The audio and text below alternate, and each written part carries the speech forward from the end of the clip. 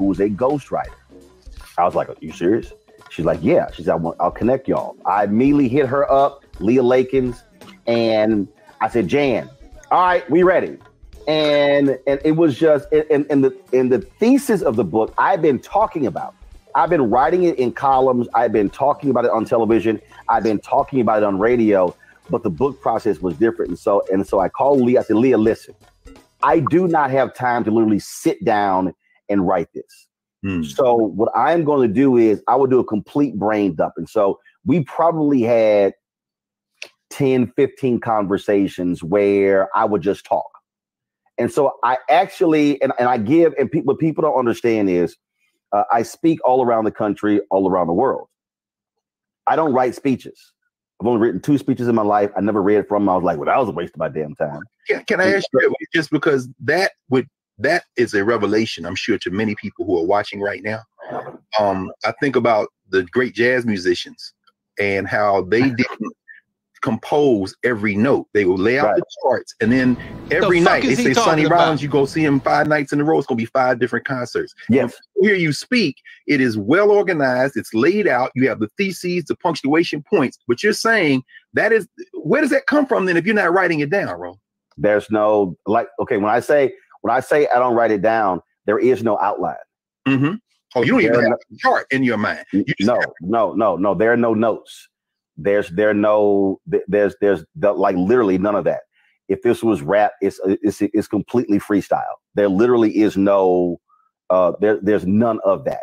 And so the fuck is he talking um, about? What I do I expect that Leah Lakins did a substantial amount of work, but this book is in your voice and it is organized the logic that you speak. So I don't know how much work that, she had to that, do. Right. That that's that's how it was done. So literally, literally, that's why it was funny when I when I had to do the when I had to do the audible version. What is we doing? I people people said, "Oh my god, I love listening to the audible version because I'm hearing you," and I was like, "Yeah," because I I read it like I speak, yes. which is how how she put it together, and and so for me, it was literally here's the thought and I would just unfold it. And then she would ask a question and I would unroll it. And then she would ask a question. And then and I would just talk and sometimes I would just talk for 10, 15, 20 minutes.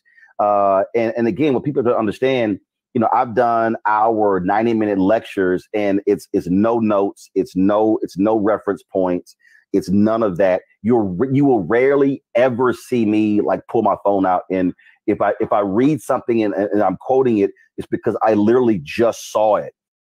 There's a woman I know who is a ghostwriter. I was like, Are you serious? She's like, Yeah. She said, I'll, I'll connect y'all. I immediately hit her up, Leah Lakins, and I said, Jan, all right, we ready. And and it was just and, and the in the thesis of the book, I've been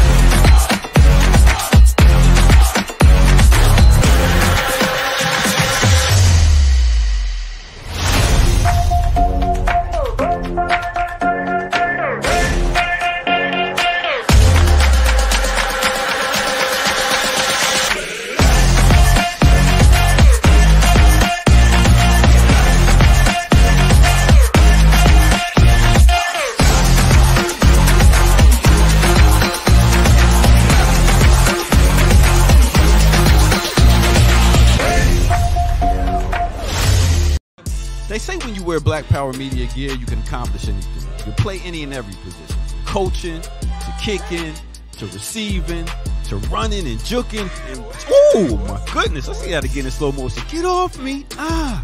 And you're going to have a lot of haters coming at you, but what you got to do is you got to shake them off, shake them off, and get to your goal and accomplish it. And when that's done, it's a beautiful thing. I'm talking about going hard, extra for that extra point. And when it's done beautifully, you talking about touchdown. Oh, and the crowd goes wild and they're celebrating with you and everything. Man, let's see that again. Nice. Black Power Media, baby. That's how we do it. Now go to blackpowermedia.org and get you some of that gear. Power yourself today. Yeah. I mix what I like, what I like, what I like, what I like, what I like.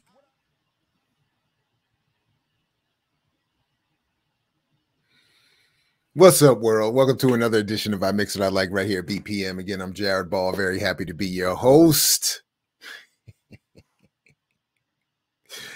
Oh man, greetings to everybody who's here live. Shout out to the remixers and to those who will see this and and, and hear this later. Peace to you as well.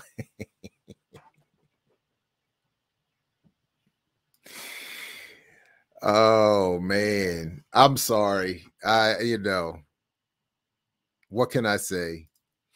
Hey, but in all seriousness, uh, to to for any of us who have, particularly who had have uh, followed the work of of Dr. Carr for so long, um,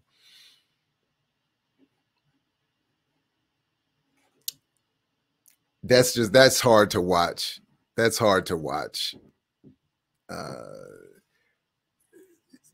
to have literally well, I guess not literally sat at his feet, but to, to to have to have traveled many hours and miles to see him speak back in the pre-online days, etc., um, and to hear him talk eloquently and and with with with uh, great uh, dexterity and memory about his love of uh, of being a bibliophile he probably is the one that introduced me to that term.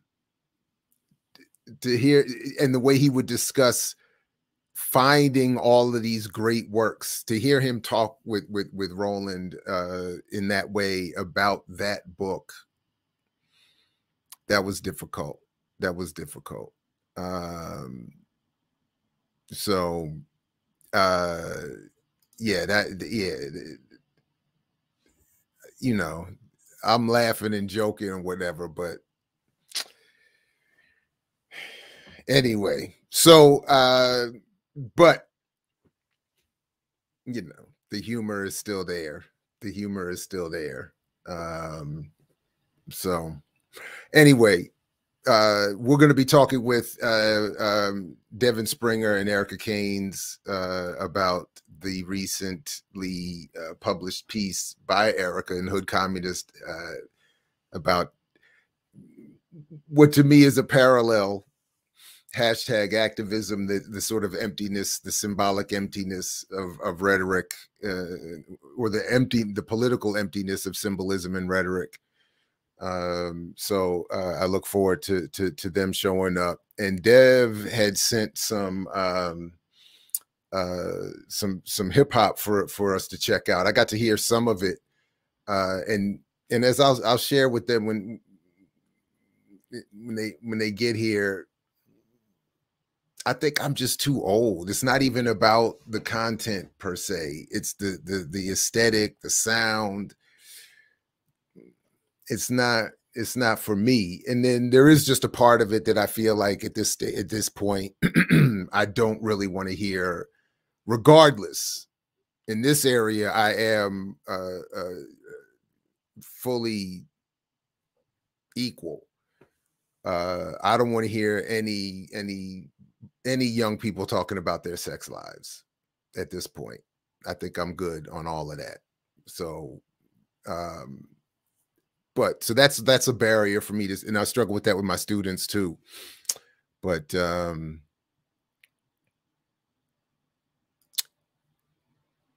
yeah, I hear you. I hear you. I hear you.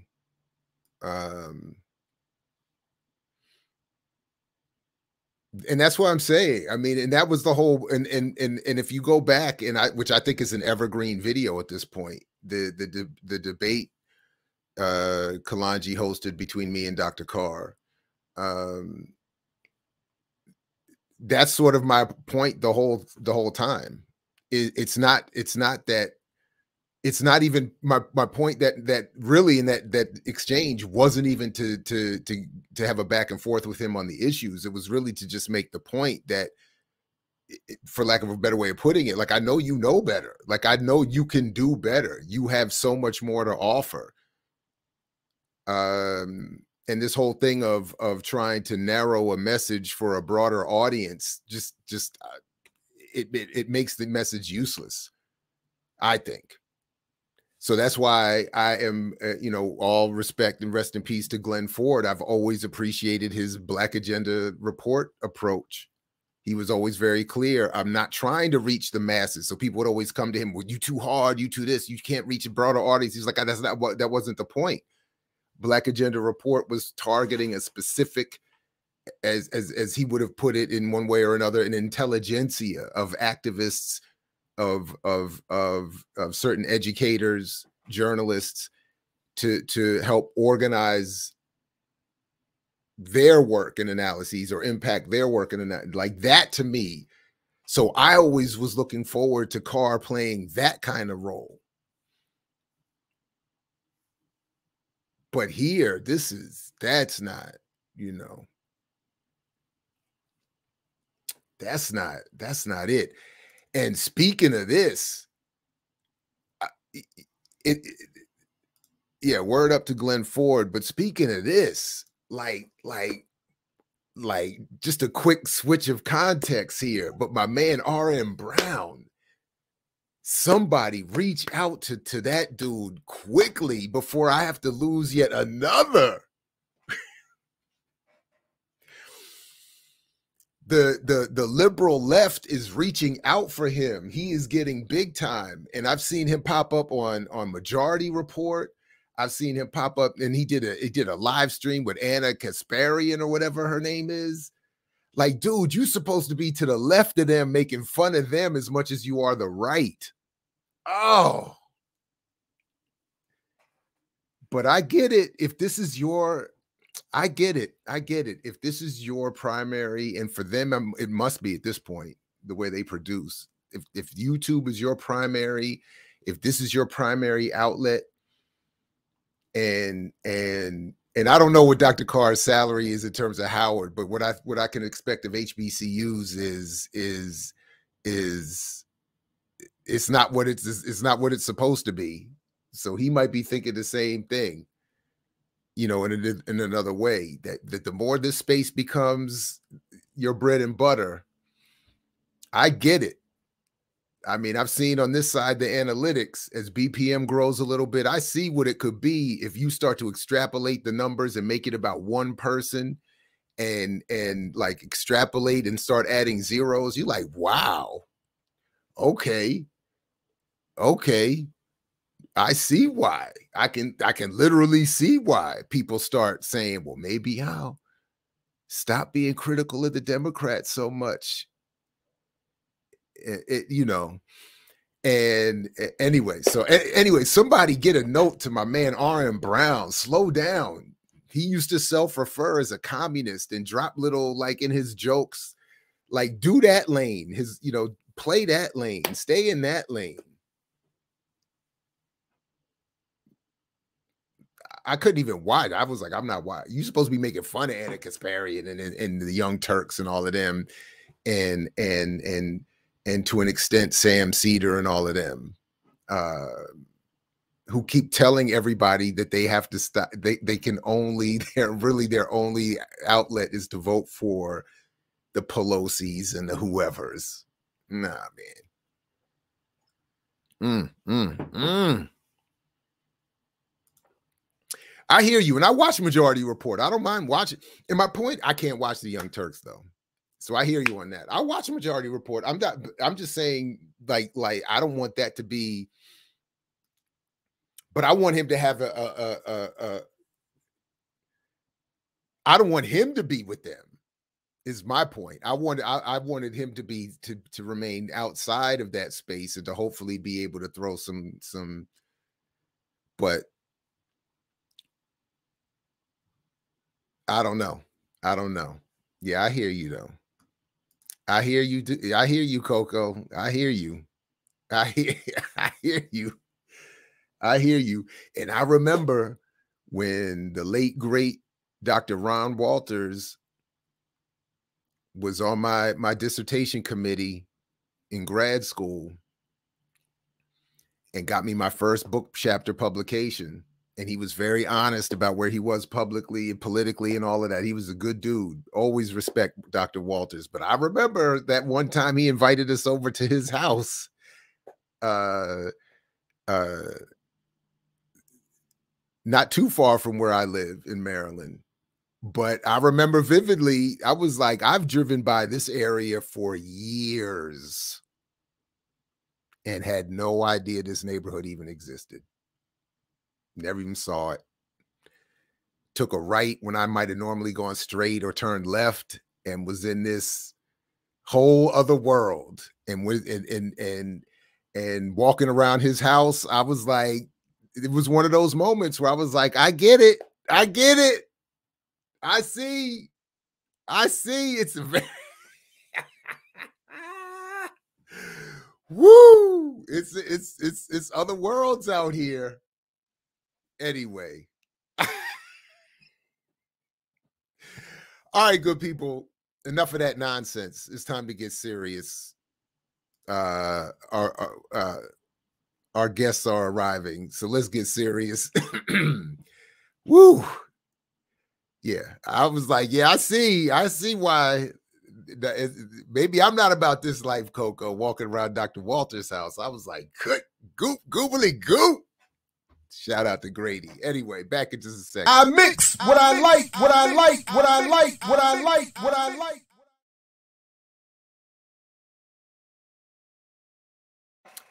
What's up, everybody? Ricki Ryan, Erica Caines in the building. Black Alliance for Peace, hood communist, author, activist.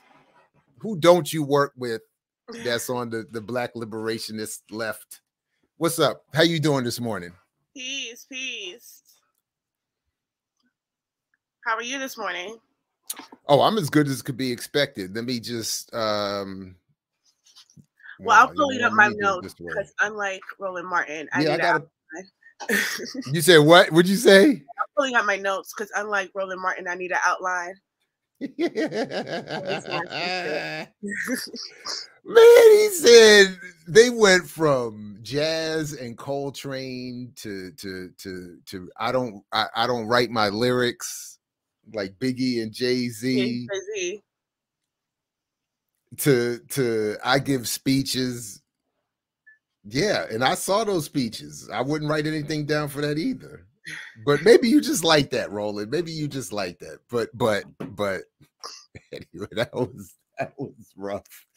No, but you write you you you do write articles and essays um which which should be uh, uh, bars and notes for others who want to do uh, and, and and create serious work and analysis. And you've done so yet again uh, and I appreciate you uh, uh, inviting us to host and discuss this on the show here. Um, so I will, and I'm waiting for the thing to where are my notes not showing up on there anyway. Uh, so let me pull the article up. The the, the uh, link is already in the show description. Hashtag activism and U.S. imperialism imperialism uh, from October 13th in in uh, Hood Communist. The, the caption here reads A protester wears glasses with a hashtag being used to protest the death of Mahsa Amini at a rally in support of the people of Iran and against the Iranian government at Civic Center Plaza in San Francisco. And the first thing, of course, is how can you be mad at a picture like this, Erica? I'm a hater, but how can you be mad at that? That's stylish, is fly, is put in front and center the message of the day. It's in defense of a of, of a woman treated brutally by an oppressive regime. What what's up? Like, why would you even start with even targeting this right here? Uh, uh yeah, yeah, I think um I think the picture was used and the woman life freedom was used because that's the current hashtag. Um, so I just want to center the way that um, these things can kind of take off and have a life of their own. Um, that's maybe not rooted in anything that's happening on the ground or any particular protest, but um, attempting to uh, create their own sort of narrative around protesting. And what I note in the piece is that the use of hashtag activism um, while it's it's certainly replaced uh, in-person community organizing because uh, it allows an array of people um, across the country and around the world to sort of be united in solidarity for whatever cause that could be summarized in uh, small character limit as possible. Like I know before when Twitter was like 100 and something words, now it's 200 something words. If you can get your statements out in just those brief passages, um, you're allegedly doing more than door to door organizing. So um, this connection um, is oftentimes heralded as one of the more positive things about social media. So like all the things that's happening with Elon Musk and Twitter right now, there are there are Africans online that's arguing, don't leave Twitter. We need that space. We built that space. Um, look at all the things that have happened through Twitter, and they would name all these instances of hashtag activism. Um, which I think is funny, ironic, um, I guess. But I think the more the the what what I'm trying to express in the piece is that um, without any grounded material analysis, um, similar to what I wrote about lived experience, um, similar to what I wrote about what all states not all states are bad. It's that people, for the sake of um, activism or organizing or showing solidarity, sort of don't investigate a damn thing. they don't look into mm. anything. Um, they wait for the hashtag. They wait for a particular narrative um, that suits them. Like if they already have something in their mind about an area, then if this narrative sort of um, confirms that, then they'll take on and they'll run with it. Um, they look for bias confirmation, so they'll find the articles that support their bias, um, but they don't investigate who runs that paper who is the um, journalist that's writing that paper? What are the politics of the paper? Like the, people are not really investigating, um, but they're seeing hashtags and they're engaging in hashtags um, as a form of activism, and that just become the norm to the point where, um, as you can see, that is the first step in people sort of gallivanting around a cause is to get online, create a hashtag, and spread it you talk about uh, uh, you use the phrase weaponized empathy um, which which eh, i think even in that that i mean that's to me what i see when i see these pictures that you you highlight here regardless of the well-meaning intention of the people involved. Um, because this you know to, to, any any half decent human being who sees this picture it's going to be it's hard to be you know, it's hard to be openly critical of some of, of, of that Right. And uh, only on yeah. um on the on Hood Communist only wrote an incredible piece um, around the time of the the proxy war in Ukraine was while all that was kicking off she wrote a piece about the weaponization of empathy um, which I sort of drew from because you can see that play out. Like that is really the purpose. There's particular images that are used there's particular slogans that are used. Um, I mean women like freedom. How could you disagree are you disagreeing with women, life, and freedom? Um, right, so right, yeah. Um, so it doesn't really call for folks to say, wait, wait a minute, what's really happening? Because you're seeing a certain thing happening. Uh, we see that play out in Cuba. We've seen that play out in Nicaragua in 2018 in Venezuela in 2019. Um, we've seen that with Tigray. That was a mm. real big thing with Tigray, that weaponization of empathy. Mm. And um, all of these things are being found after the fact, after we done took off running with the hashtag, um, to not be true at all. To have um, soft power influences like NED or USAID. Um, so it doesn't necessarily always have to be like when we talk about uh, U.S. imperialism and the covert or overt um, actions of U.S. imperialism, I think people are instantly thinking military, right? Um, and even in the case of Iran, Iran is surrounded by 40 military bases on all sides, on all sides. Um, but a lot of what's happening too is that we see that on those borders of where those 40 um, military bases that are surrounding Iran are, are NED, are USAID, are like those funded um, back things that's happening. So I when people sort of dismiss uh tankies because they, there's this idea that um we all think that everything the US does is bad and nobody else is capable of doing anything bad but i think that that's just like not the perspective to have we're talking about a country that has over 800 military bases worldwide, that has carved up the entire world into military bases, into military commands, including space. So there's 11 military commands. There's AFRICOM, the Indo-Pacific is the largest, SOUTHCOM is the oldest. Um, Central Command. I mean, they even have one for North America. So there's there's uh, there's so many commands, and that's the, the U.S. has so much leniency in the in the UN. They really get they, there's no accountability for the U.S. the U.S. and the UN. Um, they're they're making all of these uh, strategic partnerships, uh, military strategic partnerships. There are the, the USD is the primary source of funding and income. Like the US can freeze Nicaragua, I mean Venezuela's gold. They can, you know, never pay Afghanistan back. They can give Afghanistan's money to 9/11 victims and never have to. So when we talk about the US, we really have to really think about the US as an overreaching and overarching empire. And when people talk about like these other areas. I don't i think that they're doing these one-to-one comparisons because all they understand really especially when you live in empire and you have no real um, understanding of other places. Like you've never been to china you never researched china. I mean people talk about these countries like it's just one flat country. They don't have states they don't have a governance they don't have like you know there's no mayors. It's just the leader running everything uh, people can tell you two names, two two towns in, in Iran. People like you know outside the capital. The same with China. Two. Like they can name um, outside of the capital, but they know they know for sure that these are organic, on the ground, um, youth led, woman led, like those type of things. I think two is way too generous. Mo- most people, if they think of Iran at all, they think of of the enemies in in 300 in in films like that. That's right. who they think. You know, if they if they you know that's that's who they're thinking of. Two right. towns. Eric polite this morning. they can't even nah, name anything outside of what's being told to them, uh, because there's not any real need to investigate. Like, um, for instance, I, I even did note. So the hijab thing has been a thing. It's not like this is mm. something that that sparked because of what happened to this young woman. Mm-hmm.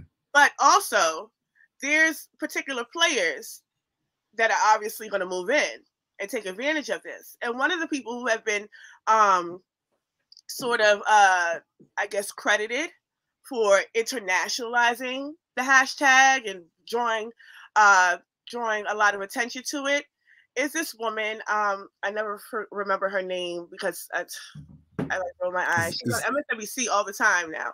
Um, but I write about her in the article. I name her specifically, but she's been calling for sanctions in Iran for years, um, at least the last mm-hmm. six. She's in pictures with Mike mm-hmm. Pompeo. Mm. She's hobnobbing with Trump during COVID. She's asking for harsher sanctions, insisting that they are just putting on that people are dying so that they can get sympathy for the so the, the authoritative dictatorship can gain some sympathy during COVID, but they need more sanctions.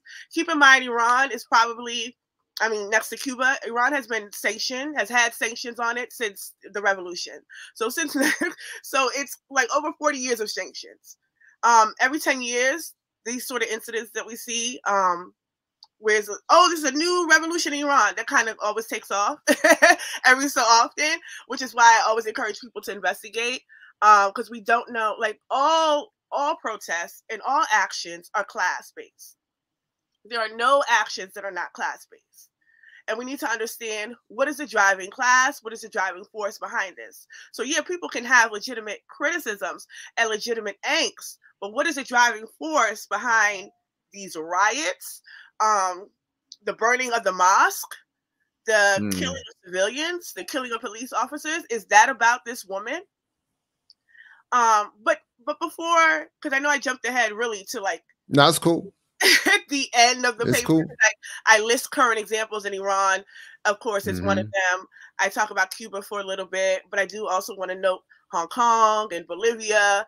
We've seen these things happen um, with hashtag movements.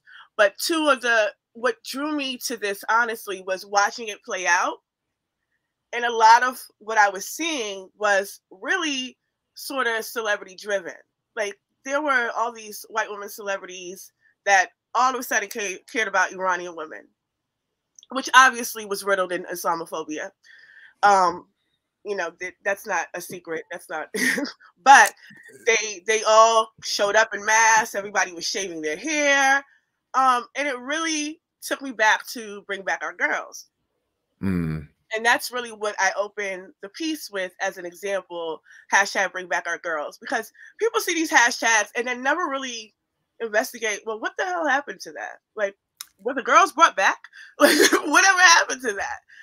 Um, you know, I'm gonna tell you the truth. The, the, the reason I first years ago looked into that hashtag was because somebody, a, a, colleague on campus, not at all known for any radicalism or politics, came came to a meeting one day, you know, in a huff, like we got to get on this hashtag. We got to, you know, support this, and and and, and I was like, wait a minute. So I, I was so that that that just made me start to look into what you know in that instance what you're talking about here you know why are you all of a sudden finding this acceptable to to to to dive into and wrap right. yourself around as as a um uh and a lot of it is this connected to what you said about uh uh um elsewhere the the Islamophobia piece and the, right. the it makes we sense, can just jump right, right on up. It, it makes it easy now. We can all. Why wouldn't there be Islamic terrorists kidnapping little black girls in Africa? Like it sounds reasonable. Isn't that what always happens in Africa? Isn't that why AFRICOM is there? So like they even had to start Black Panther with that. Yeah, the first one they had to start off with a scene doing that.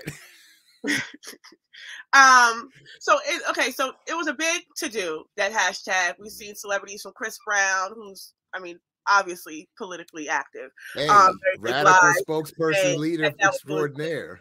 Song. We've seen Michelle Obama, which was, of course, is the more famous um, example of it everywhere. But the pictures and images that that um, celebrities were using was this one, this picture of a little black girl with a lone tear in black and white that little black girl, the tear, the picture was stolen. First of all, mm. there was no tear. If you see the mm. picture in color, I wish I would have thought about thought ahead to um, bring that up. But there is no tear, and that girl is from um, Guinea-Bissau. So that was oh, a little wow. girl in her school in Guinea-Bissau. That in that picture was taken by a white photographer.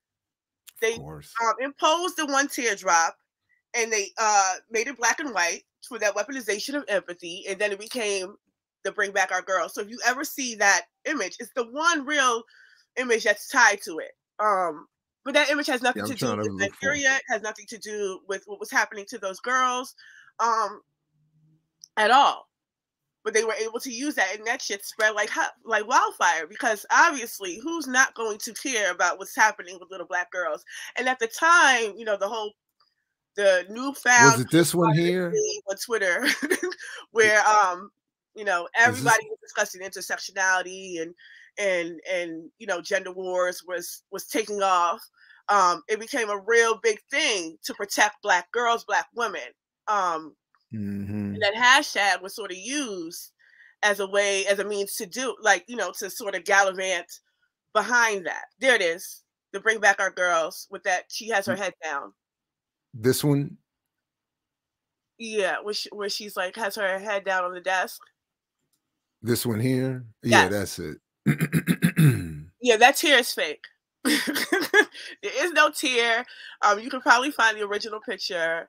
Um, that's not in black and white, and she was looking out of her classroom window when that picture was taken in Guinea-Bissau. That is not a Nigerian girl. She's never been to Nigeria um, and none of what was happening um, in Nigeria concerned that girl. But she was became the poster in the face of Bring Back Our Girls. But let's talk about because we talked about the um,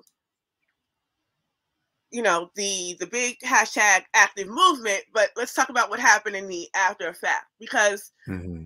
What, what it did result in is the support for further intervention from U.S. puppet states. Um, so Nigeria sort of masked the reality that U.S. imperialism was actually always kind of there. um, U.S. military was there, uh, protecting corporate theft of the country's wealth from the Nigerian people, uh, particularly or primarily the Shell Corporation. So by then, by the time um, Bring Back Our Girls had started, AFRICOM was already vastly increasing because you remember AFRICOM started in 2007 and has expanded drastically um, during the Obama years, which uh, make note of that because there's another hashtag I want to talk about that also happened under the Obama years.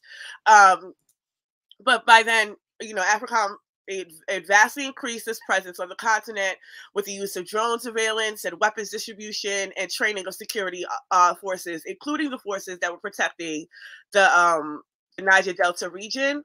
Which, What's up, Dev? Sorry to interrupt you, Erica. Just welcoming Dev to the to the to the show. Good morning, everybody. Dev Springer, Groundings hey. podcast, journalist, activist, documentarian, remixer. What's up, everybody? How y'all doing? Um, I feel like the pettiness which was displayed at the opening I was not prepared. I um it, you know, I listen Erica knows this. I listen to the morning show like a podcast in the background while I work in the morning. And uh I had to stop what I was doing and look at the screen for a second because it was just some general shadiness going on and I'm I'm a huge fan of all forms of shadiness. So shout out right. to right. shout out to y'all. Your man said right on, right on. That's what really threw me. He don't write. He don't outline straight from the dome. No. He, he, hey, y'all gonna be real surprised to ever learn my writing process, but I don't think you'll ever be able to go into any note of mine and find an outline. I will say that. I ain't never had no ghostwriter though. I've been y'all y'all. This ain't even the conversation. I'm getting off topic, but y'all know uh, when I write my tell all memoir, I'll let y'all know some of the activists who've asked me to ghostwrite for them before.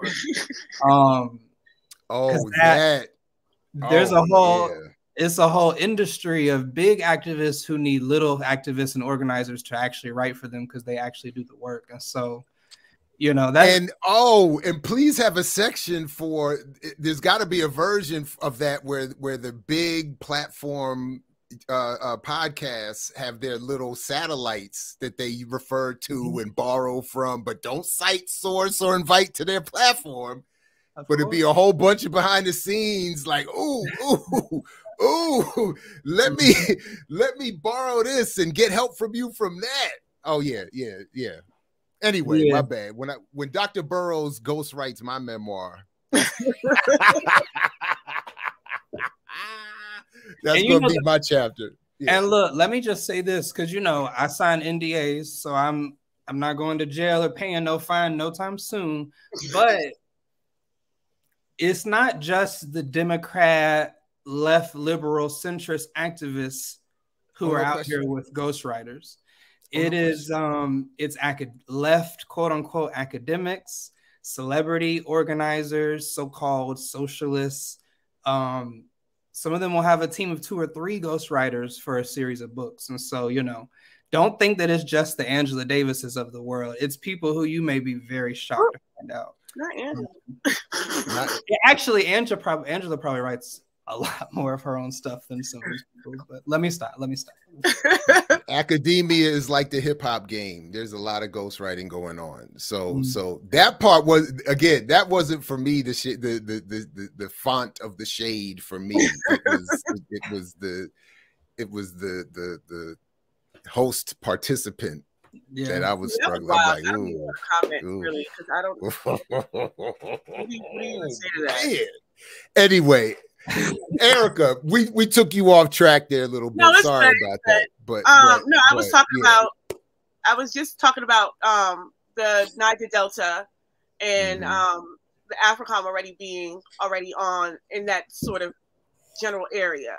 And then when uh, Bring Back Our Girls hashtag kicked off, um, it kind of reactivated um, AFRICOM in that specific space.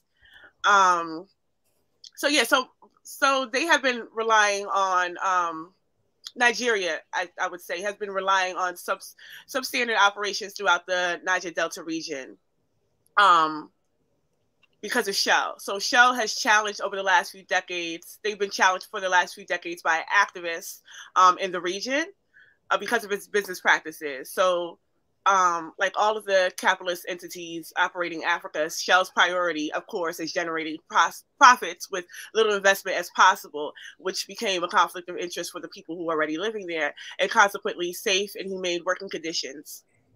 Um, so this all led to protests um, which then invited uh, this sort of U.S. Nigerian military cooperation.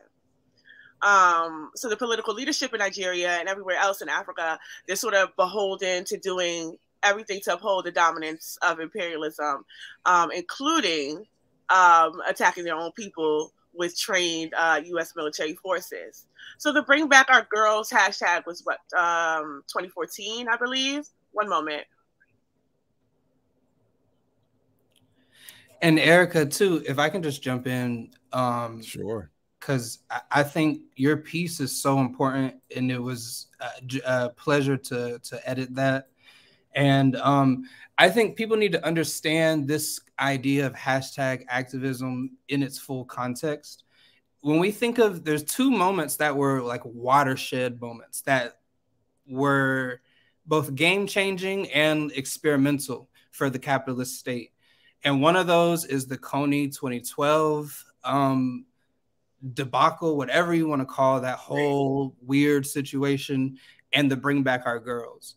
Like these two moments not only tested and sort of experimented um, how far you can drive people to believe in this these these hashtag activism very empty and vain movements um, and they showed they proved that you can have very profitable very popular very mass discussed um, influence and activism manufactured so like when everything since those two moments, these massive social media moments where the whole world is told to watch and to use this hashtag for democracy and freedom, they almost all follow the same pattern that the Kony 2012 and the Bring Back Our Girl movements followed.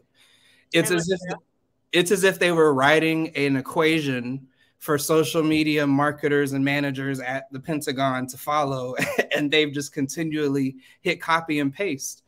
Um, so I just always want to make sure people like, and even I think your your piece, Erica, does a great job because you even asked the question like, if we were to go back in retrospect with what we know now and look at these movements, is there a single like coherent message or line that we can pull out from them? Like, is there anything coherent politically about these campaigns other than intervention? intervention. intervention.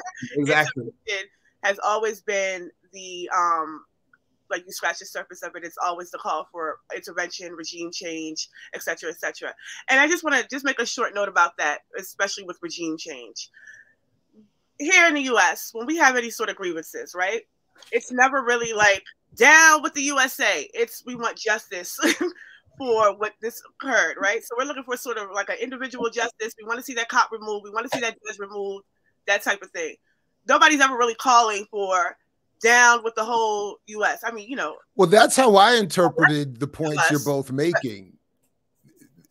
Sorry, I, that's no, how I interpreted the points you're both making. That the, the, regime change in the context of the United States is get Biden elected after Trump, get a black whoever elected in whatever. Right get a whatever elected and whatever and and uh, you know in the democratic party. That's the regime change version you know, and then overseas, the regime change version is install another puppet dictator, neo colonial, whatever, whatever, whatever, more corporate friendly, McKinsey approved, you know, leader. Like that's, that's, yeah, that to me was, you know, it was so clear, like, you know, uh, put so and so over there and get Biden elected and then reelected over here, you know.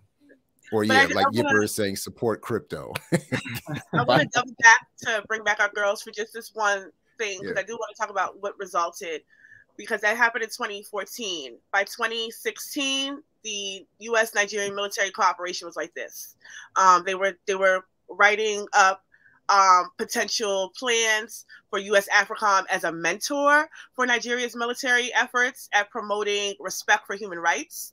Um, so they talk about the Nigerian military performing police duties and having been trained. And, you know, m- many of us who work around AFRICOM do know that many of the military, much of the military in Africa is already trained by AFRICOM, if not a dual partnership with France as well. Um, but uh, the the need for external support for Nigerian military personnel on how to pr- approach the human rights issues be- just became expansive.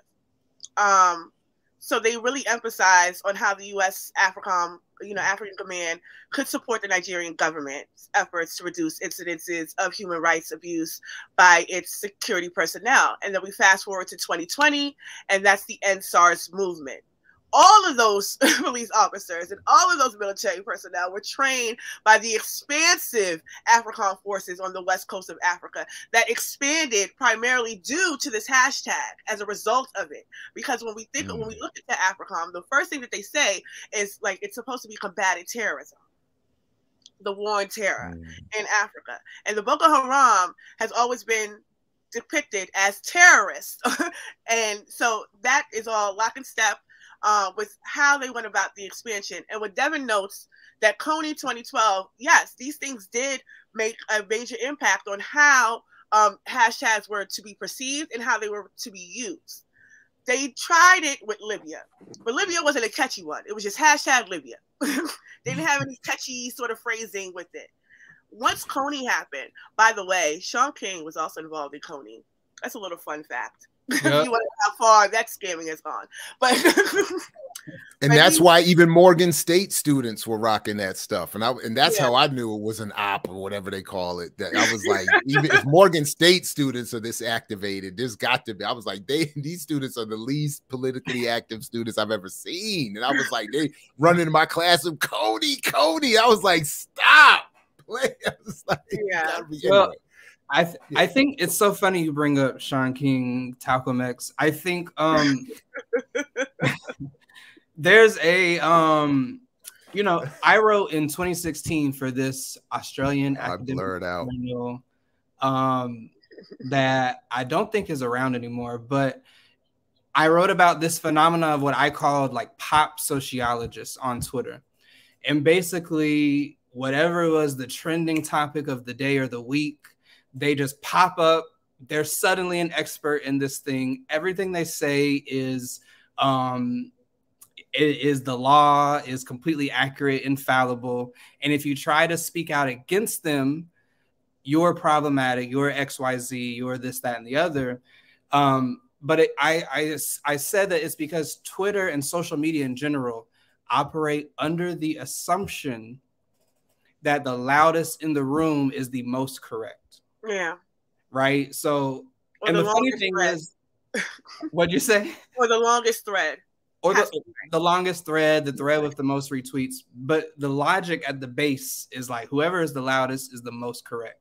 Mm-hmm. And we could, I wrote that in 2016, right? Like 10 ops, 10 ops ago, 10 campaigns ago at this point.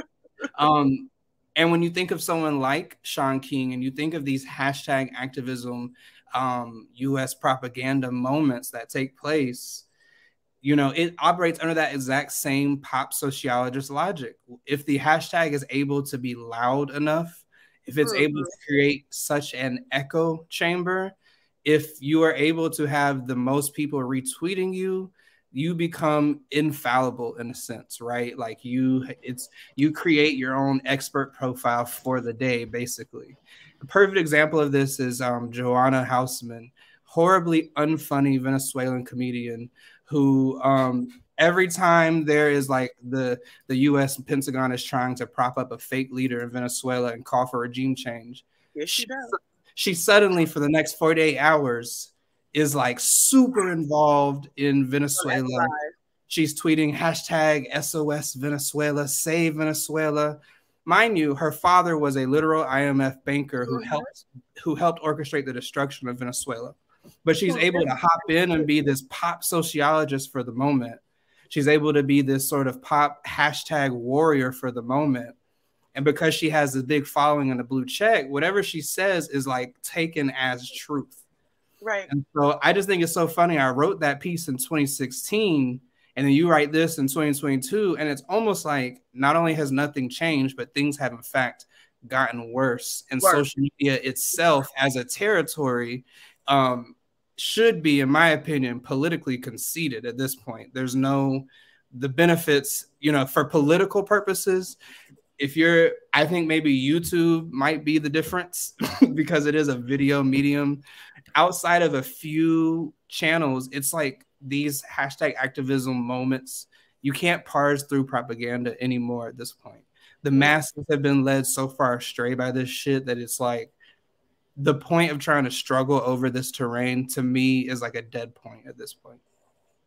And to Devyn's point, when the Kony 2012, and I see some people like they don't they didn't even really know what it was about.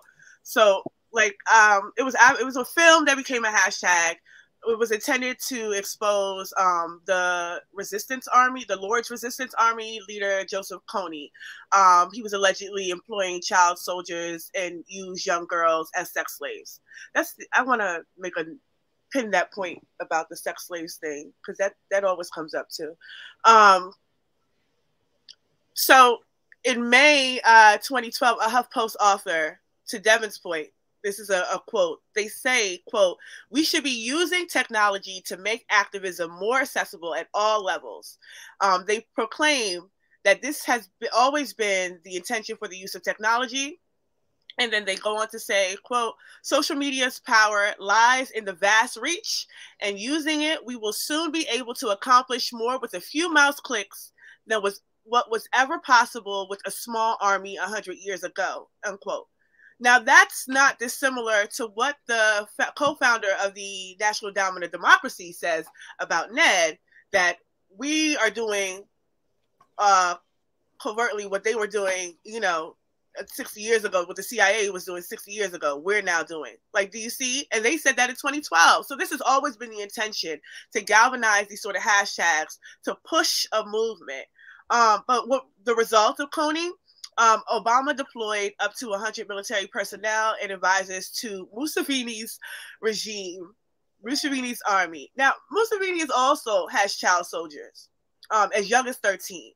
So the government that Invisible Children and Obama uh, administration entrusted to rid Uganda of child soldiers has a military that is composed of child soldiers. So it was never really about the children if we see right now Central Africa, what's happening in the Congo, um, which is the source for many earth uh, metals and um, necessary for high-end tech and, and all the things that we use, etc. Um, this was about the U.S. colluding with its neo-colonial puppets um, to further entrench the U.S. into Africa. Kony well, yeah, go ahead. Well, and don't forget too, in that same year, for three years in a row, actually, but in that same year, in South Sudan, the youngest country on earth, because the US, as John Kerry said, was the midwife that birthed South Sudan, right? South Sudan, Hillary Clinton authorized the use of child soldiers for three years in a row. And that's just because that was the duration that she had the position to do so. And then it was carried out and continued under the Obama administration even longer beyond Hillary. But the point is, she authorized the use of child soldiers when it was beneficial to US empire, right?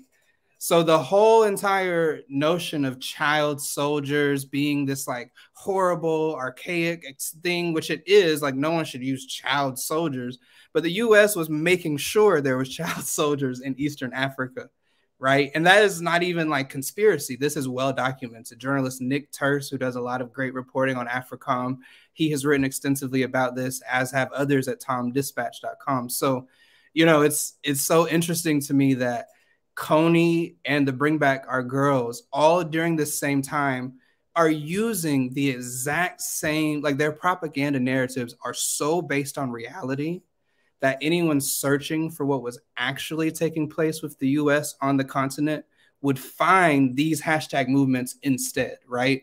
Yeah. If I were to search child soldiers East Africa, I'm, I'm right. I'm gonna get all this stuff about Kony and Boko Haram and all these things, you will not find within the first 10 pages, probably not within the first 20 pages of Google results, that Hillary Clinton authorized the use of child soldiers yearly, annually, right? And so that's the other thing that these hashtag activism um, imperialist propaganda ops do is they divert so much attention away from what we should probably actually be discussing and they're they're intentionally you know there to funnel and to siphon energy, attention, resources towards these fake op type shit. Right.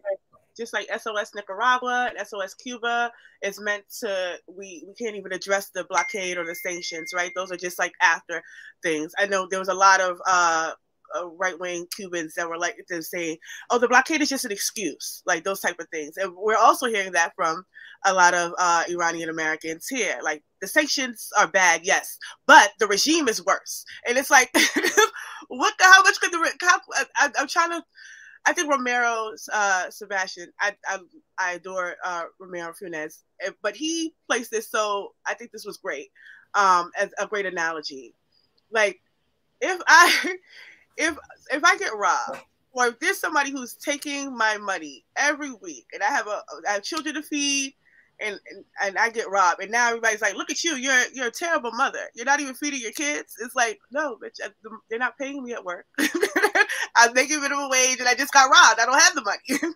but it's just like that's how everyone looks at these countries that have been burdened with sanctions. Like, oh, you're a terrible country. You're not taking care of your citizens. Look at all of these immigrants coming over to the U.S. to flee from the bad regime, um, and people just run with that the other thing I think too that helps with well, I, I again I did want to note both Kony, well Libya again I said Libya sort of uh, was like a soft launch for this sort of thing because Libya was really one of the first hashtags that we see, but it only really said Libya, so it's really hard to trace how to, to what extent we know the result, but it's really hard to trace to what extent it had an impact. Um, but from Libya to Kony to bring back our girls all happened under Obama, who was set to be the big tech president, the STEM president, the president who was uh, for the gig economy and mm-hmm. things like that. He was being pushed uh, as that sort of framework. So I think that it, that's also important to know that as he was being pushed as this like innovator of tech and taking us into the future with you know um, the promise of hope and all these young girls uh, coming up in STEM, and I think I noted I noted that too. That a lot of the STEM connections are with uh, Raytheon. Yeah. like the Girl Scouts of America has a contract for STEM mm-hmm. with. Um, but all of these things were happening congruently. So as the hashtag movements are kicking off, so is the the sort of state tech sort of uh, convoluting. Um, but but nobody really notices these things or don't i think that it, as we've seen in the last 10 years and i think i noticed that there's not one coup or attempted coup that cannot be traced back to a hashtag. Mm-hmm. and whether that's bolivia or what's happening in ethiopia and eritrea what was happening in hong kong what happened in ukraine. Um, so yeah so i think that that's really important to to know. And that's really why i wrote it. But i i asked Devyn to be here because Devyn was talking about um being a ghostwriter. But Devyn really is my clutch editor i would have all these thoughts um i, I make my outline i have no role in mine i write my shit down um, and then i um i really the type of editing I do, it's really you really have to snatch the paper away from me and be like, no, but it's done, it's done, it's over. Stop writing because I'm always like, no, I don't know. So I'm always yeah. at the last minute. Devyn, check this, please. Make sure this makes sense because I'm never really, I you know, just talking about it now. It's a lot to say, so I want to make sure that it makes sense in writing. Like it's not just like I threw up all over paper with all these facts. It's you know, it's facts that people can digest, and I think that Devyn really helps me put that in a frame. Like they don't rewrite it for me or anything, but they do like, is are you sure you want to say this? Is there another way to say this? Um, think about this, or did you think about this example, or did you look into this? So just to direct me on how to do it. Um, and and through that, we've had so many conversations about this um, because Devyn does such great work, especially sort of naming the sort of things that's been happening um, on social media throughout the years. Most recently, Devyn's work on around TikTok. I think it's worth checking out. We have two of their published uh, pieces on Hood Communist, if folks wanted to check those out around TikTok, and then also, uh, you know, subscribe to their Patreon where you get all that work. but um, well, I think you know, um, I appreciate I appreciate you, Ricki, as always. You know, my sister. Um, as someone who's been an editor for about 10 years, it's always appreciative to hear that it's appreciated and you know useful and not just a waste of people's time. But um, I also want to, you know, I want people to understand as well when we talk about these social media related things, we're talking about social media as an apparatus or a weapon of the capitalist state. You know what I mean? Like, uh, we can already see with this Elon Musk stuff sort of re- removing a certain kind of veil that some people might have had, that these things are just like pet toys for a billionaire class. Like, it's, you know, Mark Zuckerberg is not interested in the infallibility of American free speech and democracy or whatever bullshit they say. These are just products that they're they're making millions and billions of dollars for advertising at the end of the day. And so that is the profit motive is the extent to which anything radical will ever take place on these applications. Um, and I say that as someone who has worked in media and specifically social media for at least seven or eight years, I see all the time when I'm applying for jobs, um, positions at like the Department of Justice, the Department of State, Pentagon, White House, Democrat Party. There are there's dozens upon dozens upon dozens of social media and communications jobs. So there are individuals being hired by the Pentagon, for example, who will be just assigned an account, an account could be it's like like a project manager almost but digital. And your job is just to manage all of the communications related to this africom account right here. Now who do you think those people are in conversation with who do you think they're developing their strategy with who are the higher ups who are giving them the information through which they have to communicate because my job as a communicator is to create communication strategies for someone else's information. That is literally the definition of the job. So if I'm applying to do that job at the Pentagon and my I'm in a strategy meeting once a week with my higher up who's like, "All right, this week this is happening in Venezuela. This is what needs to be the strategy." So these aren't necessarily high level, you know, like I, I want people to understand the mechanics of how these things happen. It's not like just out of nowhere, someone woke up and decided, hey, today in Iran, this one psyop fake activist who lives who lives five minutes from the Pentagon is going to start a hashtag movement to free Iran, and we need you to tweet about this. They're like, no, we have a wartime editorial calendar, bitch. Get, get to work. Go to TweetDeck and schedule them tweets. You know what I'm saying? And so, no, it's true though. But even because no, honestly, because even if you look at, at, at the lady's Twitter, it starts with she notifies us that uh, someone has died in police custody, which was the young lady. The next 10 minutes, that tweet has gone to she was beaten to death. So, like, and then it, like, it escalates and escalates and escalates mm-hmm. to the point where it's like, well, now people don't even believe the CTV footage. You know, it's like, oh no, the, the Iranian regime meddled with that footage. Yeah, because you know, like that makes more sense than this lady could possibly lying because she doesn't even live in Iran. All the she's getting is secondhand information anyway that she's reporting out. Yeah, and, and Iranian and that's why I think my piece, I'm like I always, always, always refer to that piece about lived experience because I think that people slip and fall on that. One's position, um, one's background does not make them politically correct. Doesn't make the analysis correct. It doesn't mm-hmm. make um the end, you know, the end conclusion correct. Me being from Trinidad, it's you know, me being Trinidadian doesn't mean that I am well versed in everything that's happening in Trinidad or that I can speak even for all the on the ground activities happening in Trinidad. Uh, but people in, in diaspora in the U.S. seems to believe they are because they are diaspora. They are not fully entrenched into the U.S. thought.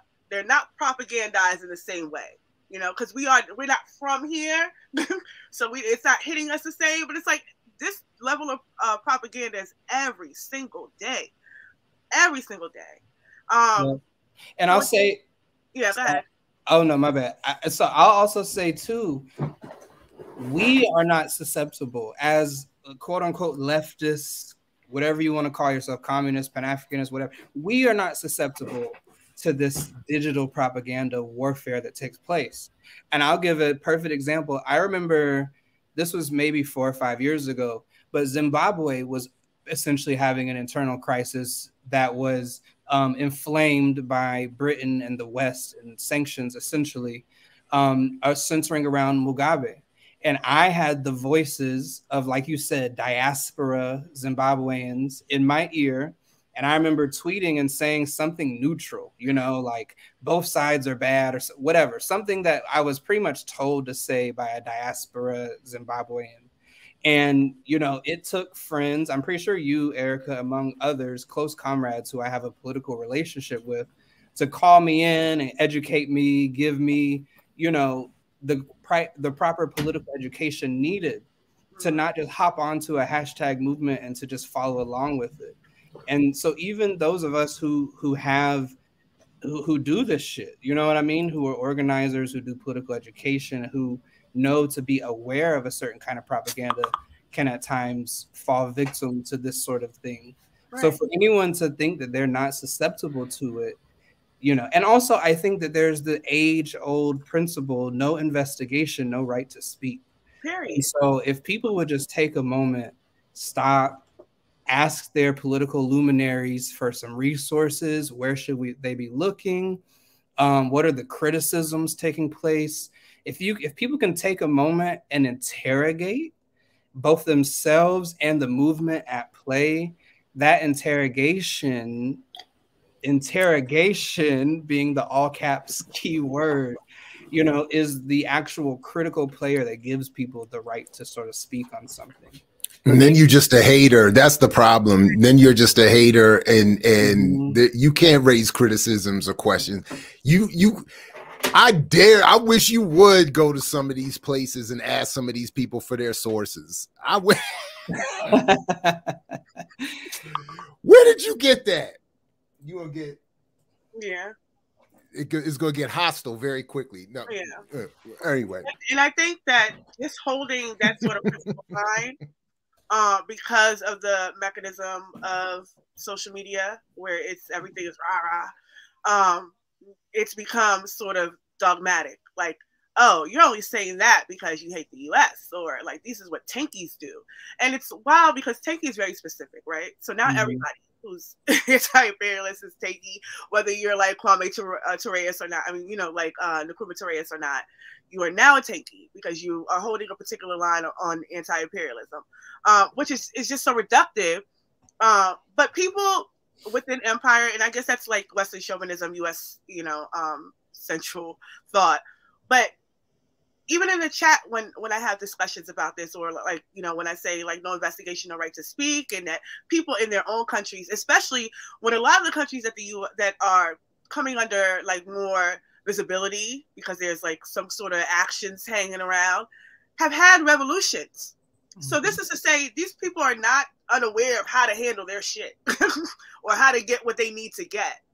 Um, what comes in the fact that it's like it's sort of this like paternalizing or, or like of other colonized folks like no we need to step in and we need to be the voice and when you say well people can handle their own situation and maybe it's easier for the, the people in iran to protest if they weren't like starving and hungry because of sanctions, or if they weren't being hospitalized because of sanctions, more people take to the streets. It's why I say we're sanctioned here. When we think about food deserts and things like that, a lot of that's why we can't take to the streets in, in mass the way we would like to to erect change. But I say that to say that people don't even look at these things or what they could actually do. And you have the, the only power you actually have because ain't nobody in, in Tehran listening to you. There's nobody in Iran listening to you. Nobody in the higher ups. They don't give a shit about what you're saying. Just like nobody in Beijing listening to any any shit y'all have to say about neither Beijing or Washington. They're not paying any attention to you or your little hashtags. What they but but the power you do have is what the you are a constituent, right? You know that your politician is voting for these sanctions. Look at their voting records. Press them. Organize against that. And then you can then help the other workers of the world. You cannot help workers of the world trying to dictate what should happen to them based on what's being fed to you in a narrative here, and you don't even live there. You have no real grasp. And then the other thing is, people who are engaging in hashtag activism are a part of no organization. So they don't even have that sort of connection to even say, well, I may not know, but such and such I know is connected to this, and they may know. Like they don't even have that to even. So, but that's that's the beauty of the trick bag, though, because then you go back to that politician, and the first thing you're told by them and a whole cadre of of of a of a of an uh, ecosystem is we can't go too far left because we got to stop the rising fascism on the right here. We can't we can't vote even locally. We have to we have to vote for the the lesser of evils because there's a worse version over here. Um so so but listen, I got a I do have a couple of questions for the both of you and then Dev, I know you had uh um I, there were a couple other things you wanted us to talk about this morning, so I want to make sure if you if you all want that we have at least some time for that. Um, but but but before we leave this particular topic area, uh, Erica, you do talk about at least in passing, you make reference, uh, and I'm glad you you you referenced that that discussion with Dhoruba about Black Lives Matter. Um, so you know, as I was reading, I, I was like waiting for the the, the looming big hashtag elephant in the room. Um, uh, but then you also touched on something that that indirectly i've been in a little debate with with my man dr burrows about just this week about black twitter. Um so i wanted to ask you you don't talk about black twitter specifically but in bringing up black lives matter and uh, uh and then even something you said earlier in, in, in today it, it, it made me think of this back and forth i'm having with, with dr burrows that i've had with a number of colleagues over the years that I'm not impressed with this black Twitter space, the the efficacy, the the effectiveness, the radicalness, the and that you know there's often this you know and then he was telling me recently black twitter does it again. If it wasn't for black twitter we wouldn't have and i forgot what the issue was that he was saying something happened in some cultural space or whatever. Right. and i'm like all right well whatever. So anyway i wanted to see if we could blend that as as if, if, you know we don't have to leave this topic, but before we outro this particular topic, Black Lives Matter and this issue of Black Twitter. I'm wondering what you think. Uh, uh, one, what you said about Black Lives Matter, and then what you both think about Black Twitter and and its its role in all of this. Yeah, I I mentioned Dhoruba in passing because I, I still deeply appreciate that interview. Um, and I think he's done a number of different iterations with you around that sort of uh, Black Lives Matter as a hashtag. But when I mentioned it, it's not necessarily to say that it it, it functions in the exact same way as like Kony or or Bring Back Our Girls, but it does function in the way uh, where we where things that seem organic become co-opted. Um, and I guess uh, that speaks more to like Two Blacks piece uh, that he wrote for Black Agenda Report. But um, yeah, it does more harm than it, it's done any good. I don't think that any of, I think that people genuinely are wanting to be helpful people. Um, so it's it's a sort of social media phenomenon where people are feeling like they are activated. Um, they have the power in themselves to sort of become their own advocates and their own journalists and their own truth tellers. Um, but people sort of ignore that Twitter and all these other social medias are institutions. Um, they they function as institutions. They maneuver as institutions, um, and because of that, uh, you know, again, there's a profit margin, like that Devyn brought up. So there's a there's sort of um, the state is so deeply entwined into these these apparatuses of social media, whether it's Facebook, TikTok, or Twitter, that it's really difficult to now say what is and what isn't actually occurring through these sort of hashtags. Like I think people would like to think that change has been made, but just as Devyn said, I wrote this shit in 2016 you know like i talked about this in 2016 and here we are seeing it even worse uh, because it's getting normalized and i think even with the elon musk situation and twitter collapsing is this whole idea that black twitter exists um, separate from twitter and black twitter like it, um, as its own entity is what kept Twitter going. Um, and we need to preserve Twitter, and, and, all the Black tweeters need to just like organize to preserve Twitter for our spaces because all of the all of that we've been yep. able to accomplish. And like I said with Kony 2012 and with SOS Cuba and SOS Nicaragua and Bring Back Our Girls, all of these things didn't accomplish nothing. It accomplished nothing but more invasion, more U.S. military expansion, uh, more um, the Western hegemonic goals have been have been spreading throughout different regions, especially in the Americas, um, especially on the continent. So I, it's really hard for me to say. Like, yes, I certainly maybe um, smaller smaller scale things, uh, smaller scale hashtags like uh, individual deaths or police shootings. But then Mm-hmm. Since the since Trayvon, since Mike Brown, as these individual police shooting deaths have occurred, what has significantly changed within our community in the way that we organize around it? Or are we just seeing more and more hashtags? Like the whole idea of, of being the voice has actually taken precedent over actually organizing to stop certain things from happening. So people rather be the voice and rather be the the advocate online because it's less pressure. Um, and then people are weird socially. they don't have to actually deal with nobody. They don't have to talk to people necessarily, and then they can go to sleep peacefully, thinking they have done a good deed. They have, you know, saved or stood up for humanity. They have supported human rights. They have stood in solidarity with workers around the world um, from from their phone and they never actually have to give more than they're giving. Um, and I think that's the sort of confusion that's existing right now around the use of of social media and the use of these hashtags. Um, for me, I always say I'm probably like I'm always on here, even when I'm in the chat. A lot of this is for agitation purposes. Like a lot of it is I'm in here to agitate. I'm in here to get people to siphon them into organizations so we can do the real work. Um, even my friends when I see them make a uh, a thread or, a long post, it's like, no, why don't you um submit that? Stop writing that on Twitter. Submit it to the communists. Like, put it in 500 words. Like, you yeah. know, because people, need to move away from that space. Yeah, I mean, I think the amount of the the word count used in some of these Instagram carousel infographics could also just be a strongly written article. I do agree with you on that. The Instagram infographic industrial complex is is mighty is mighty these days. Um, but I like the question about Black Twitter because this is something someone also recently asked me, and I at the time didn't really have care to give an answer to be honest. But um, I think that the reported impact, connectivity, community, um, activism of quote unquote black Twitter is overinflated and overhyped. Um, in many areas, non existent, and in other areas, outright regressive and reactionary and mm-hmm. bad for our community.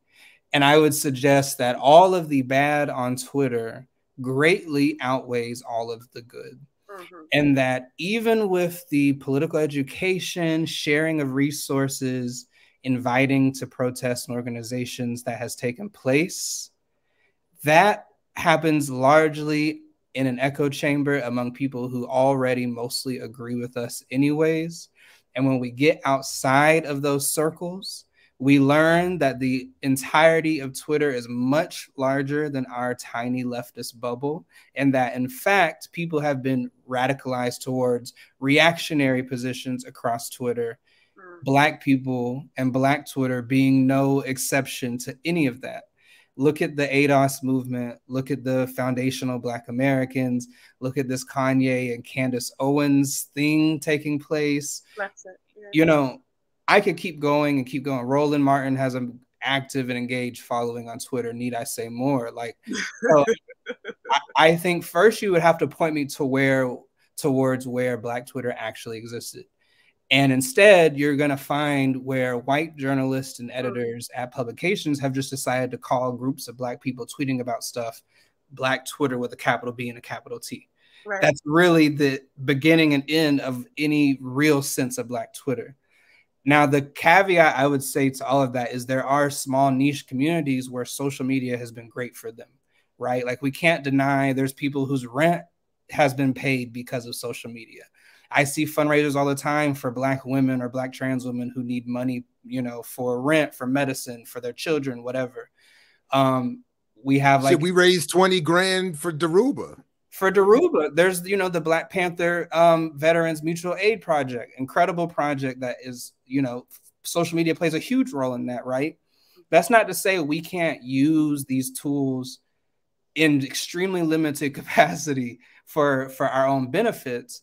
But I'm saying if we were to take and put on a scale and weigh the negative with the benefits, I think that the benefits of whatever Black Twitter is, and also I, I would say because Twitter is a product that sells products. We are the products. Um, I think that the power, the reported power, alleged power of Black Twitter dovetails, merges, and is entangled with consumption. Black Twitter exists because there's a Black Panther movie that needs to sell tickets. Black Twitter exists because some designer just did a collab with Telfar. They need to make sure Black people know about it. Like Black Black Twitter exists because there's products that they want to sell to Black people, or Can they I want. inter- I'm sorry to interrupt you, Dev, but that reminds me. I I didn't even know what Telfar was, but reps from them reached out to us last year.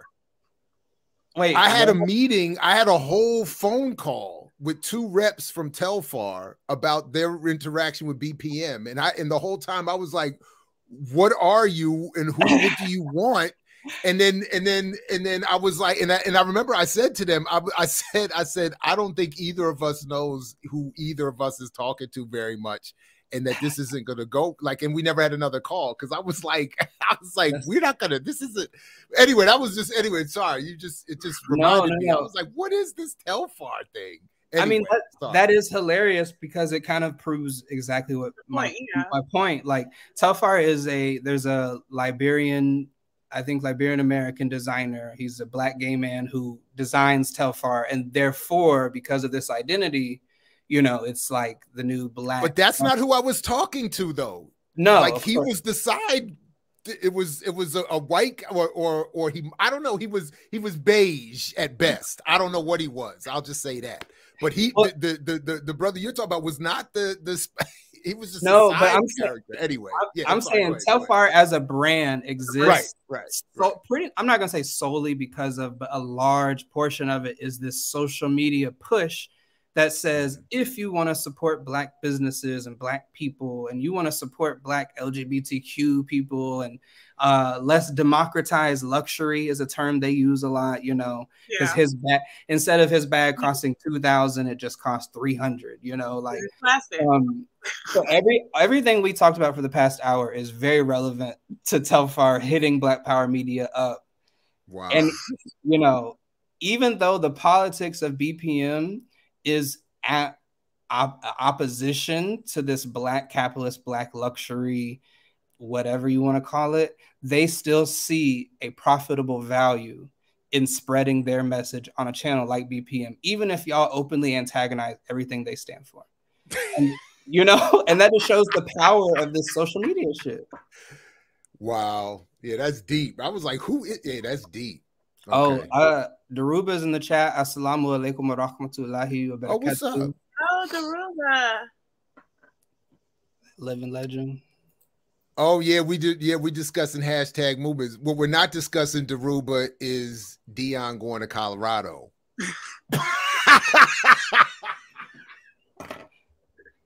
I don't know who you are. My bad, man. I love you to death, D. I can't help it, man. I'm a mess.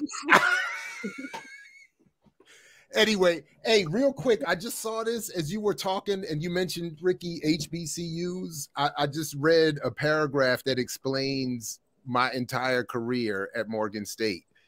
Um, it, it's talking about a new. It, it's referring to an, an, an, existing initiative at Morgan, but but it's saying that Morgan has launched three new research centers this year in an effort to become the first HBCU to hit uh, R1 status. Uh, the Center for Da- Data Analytics and Sports Gaming Research, the Center for Equitable Artificial Intelligence and Machine Learning Systems, and the Center for Urban Violence and Crime Reduction. That that's it. and and and the and and at least four million of the 40 million donation by philanthropist Mac- Mackenzie Scott towards establishing the three endowed professorships in brain science, predictive analysis, cybersecurity engineering, Wow. and psychometrics. Wow. Damn. Woo. And here I was anyway. about Ned, Ned, um, Ned scholarships and Ned programs in the school. Um, but they doing so. Is Morgan still expanding? Morgan is Oh set yeah. a university city to make East Baltimore. Oh yeah. Oh yeah. The if, every time uh, you know, there's constant building. The the the center is expanding. You know what is the the Northwoods? You know the new I say, Northwoods or Northwoods whatever. It's it's new. They moved the McDonald's, updated the McDonald's, got the new touch screen in there to order stuff, and then they got the the the DTLR stores up and running, and then they got uh, some other businesses. And I saw all these white men in suits the other day walking around measuring stuff, and I was and and you know outlining what's going to happen with. And I was just like, yeah, yep, yep, yep. I was like, this this looks about It's right. And then of course the new police Um, center is right there too. I'm sorry. it's a copping too. So I'm interested in in at what point are they going to? Because one is on the east and one is on the west. And at what point is that expansion going to? Like how I far mean- far in are they intending to go? Yeah, no doubt. No doubt. Um wait, whose audio is gone? Tom Porter's in the building. Speaking of legends, we got all the legends in here this morning. Whose audio is gone? Sorry about that. Anyway, um, anyway, but thank you for that. Both of your answers to to in response to to to uh, um, uh, my questions there about Black Twitter and and BLM. Um, I did star. There were a couple. I think. Uh, questions yeah i think we i think we covered the blm hashtag i i think i can't remember if your piece mentions or if you talked about yemen being part of this hashtaggery mess um No, I did not. mention uh, okay okay peace tafari yep had some of his images uh hijacked i'm not surprised you take a lot of good ones uh shout out to yuri as well um great guest today. She should debate Kalonji and the Iranians he had on who de facto supported U.S. backed color revolution. Oh, that's deep.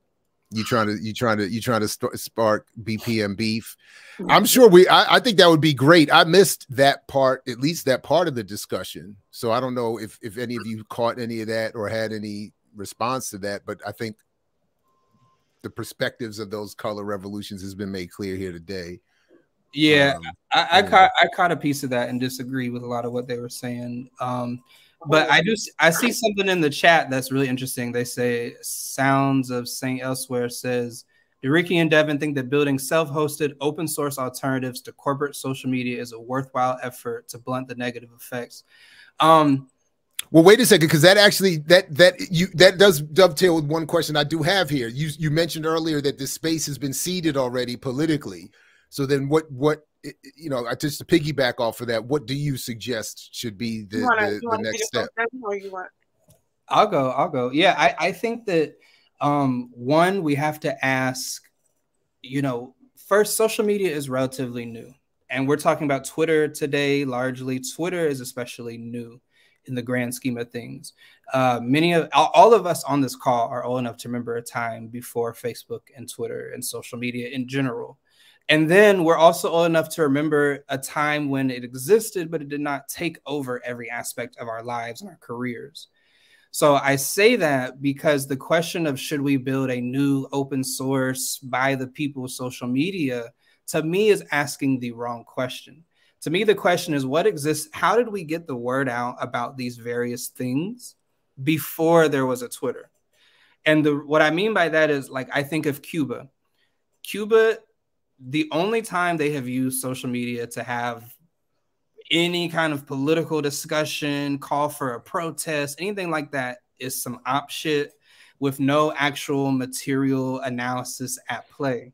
But what they do have in Cuba, because they're not dominant on a digital space, they have public parks, public meeting spaces, community centers, barbershops, and restaurants. All of these various spaces, real in life spaces, um, function the way we envision or or pretend or want for Twitter and these social medias to be like this public forum of free knowledge and flowing idea.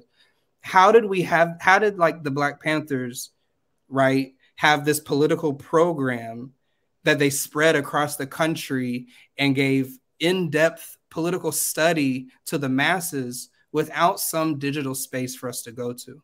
So to me, the question of like should we create a social media for the people?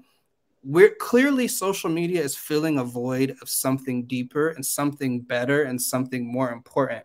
And I think we should remove social media from the equation and go back to the source, right? Sankofa kind of idea and go back to the source and figure out what the fuck were we doing before social media that worked so much better than social media. Get out into your community. Go to a community center a library a public park um, you know things like that. Like Ricki you give away books through liberation through reading and every person who a book passes into their hand or anyone who comes and talks to your table at the event you're teaching them you're educating them you're building community with them you're sharing your contact information with them like movements and campaigns and and radical revolutionary politics are not going to take place over a Twitter or social media app because they historically have not taken place there. And we have yet to see them take place there yet to this day. So I, I like the question because it's like we shouldn't be thinking about how can we save social media or how can we create our own social media. It's like, do we actually need social media? And what does the historical record show we have gotten done with it versus for people around the world who don't use it as their organizing space, who are miles ahead of us. Miles ahead of us. The only um, problem that I have with that, just very quickly, is the concern I have with that. Not that I disagree so much, is that is that I keep thinking of of that Huey Newton point about nations, that that the world that you're talking about, Dev, that that we might remember or or have have even fully grown up in, doesn't exist anymore. We can't return to that. There is no source to which we can return anymore. And this new media environment, particularly in this country, is creating something different uh, that that that it, again doesn't exist, particularly for younger people. Uh, so that would that's the the biggest concern I have. Um, again, thinking of a trick bag that we're stuck in. Uh, but anyway, yeah. no, no, no. I definitely appreciate that. And I think that to me, the answer is to have a very clear and sober material analysis of the limits of what you can actually do and cannot do on social media. Right. And I think that as organizations, right, as communities and organizations, as we develop an analysis around what those limits actually are, that analysis and those limits should inform how much time, energy, and effort we put into social media as something we can save or not. If I don't know if I'm making myself clear, but it's all about like the the limitations of what you can actually do with these tools. To your point, Dr. Ball, when you said that, I was thinking about like Lenin and Marx and, and how they explain it. Like I know people talk about like communalism, right? And and but I think that we have to really understand that we are at a point of capitalism and we need to like address this and, and to sort of this materiality and move forward as opposed to like looking behind because those, that system doesn't exist anymore. So I was thinking through that. But the other thing I was thinking about, and that I'm always thinking about when people are, are, I think the sort of trigger reaction is we need our own space, we need to build our own things. And I'm thinking about Press TV and the Iranian servers that the US froze. I mean, they, they have their own servers, they have their own um, internet and their own uh, media apparatus that in the U.S. could simply just say no. Sorry. Well, think, look, think and about think think yeah. about our RT. I produced multiple documentaries through RT. Therefore, when YouTube woke up one morning and decided they wanted to remove all RT content from YouTube, that included the documentaries I produced. So look, think of the ripple effect of the hundreds of hours worth of content that you could only get from somewhere like an RT or Press TV or CGTV that was just erased overnight. Like literally overnight, they were like, we actually don't want you on YouTube anymore. 50,000 views, however many views, we don't care. And so, again, I think it's revealing a limit to these spaces that we're so dominant on if it can just overnight be taken away. Right. You know what I mean? Like, I don't know. Let me not. Let me not. so when when uh, and thanks to Ruba and and um you, you know McLuhan I would love I I tried and and unfortunately um I can't remember her name but she she does she's she does she's not interested in in public whatever but but I'm, I really want to have more discussions about McLuhan um because one of the things that he he would talk about and of course that's where the media is the message comes from or the medium is the that that that he would talk about how what what media we produce today digitally is a reflection of what we think existed in the past and he equates it to driving forward while looking in the rearview mirror um so so even movies that are depicting something in the future are really a reflection of what we thought of the future in the past and and and it anyway and I and and and I'll stop there uh, only to add that that I would encourage I would love for us to have a collective viewing of uh, McLuhan's Wake, which I think is an incredibly good documentary about McLuhan. And I would even like to to to under the watchful, careful eye of of people who administer medicine uh, enjoy that. I think would enjoy that with with some psilocybin support. I might have to think about that when I think about looking at that again because that movie, that documentary, boy. Uh, anyway, McLuhan is deep, and and and and and anyway, so I just I just shout out to McLuhan and for all of his conservative white Eurocentrism. I still think he was deep. Anyway, uh, either of you, sorry, go ahead. Um, with no, anything. I am not okay. That's really my main point. I think we talked about this, yeah, when when everything was happening with the Ukraine proxy war and, and accounts were getting shut down left and right, mm-hmm. and then that became the we need our own, we need to build our own. Mm-hmm. And I don't think I think people are looking at like places like Rumble and expecting mm-hmm. that that would be the sort of uh, uh, welcome that we would receive, or like you know, mm-hmm. Rumble exists for reasons. I like I always say liberal democracy supports fascism. So Rumble exists for reasons. They're not gonna mess with Rumble. They're gonna talk about it for you know as a as a gateway to elections, but they're not really gonna mess with Rumble. Yeah. If we came with a Pan African, mm-hmm. like socialist, communist, like space with anarchism and and having those particular discussions on a platform day in and day out, no. they suddenly would start paying attention. Yeah. like they, they already because the, the, accounts that do are already gone from Twitter. Right. exactly. I'm gone. I'm gone. Like the accounts that already do those things day in and day out have already been axed out.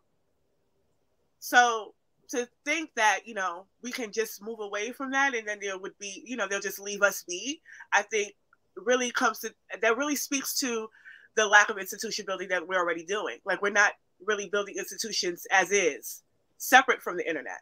But I think that if we start to consider building institutions and what that looks like and, and building liberated zones, then yeah, social the use of social media or how we would use social media would would um we would start to think through that more. It would start to, you know, make more sense of how it would actually work because we were we would already be establishing some things. I think that looking to organize for a different space with a completely unorganized masses of people is not going to be productive or any more productive than what we're seeing. Yeah, 100% agree. I also know. So, yeah, what, go ahead. Mm-hmm. My last point I'll say is when, you know, like I said earlier, I've worked in social media where I'm like, or like doing social media for an org or something like that. And the like number one rule we always say to our to clients, to anyone, is social media is not the end in of itself. It's a means towards an end. So the end is never just to like get a follower, get a retweet. The end is something convertible, something larger. Someone's purchasing something, someone's opening a, a, a link.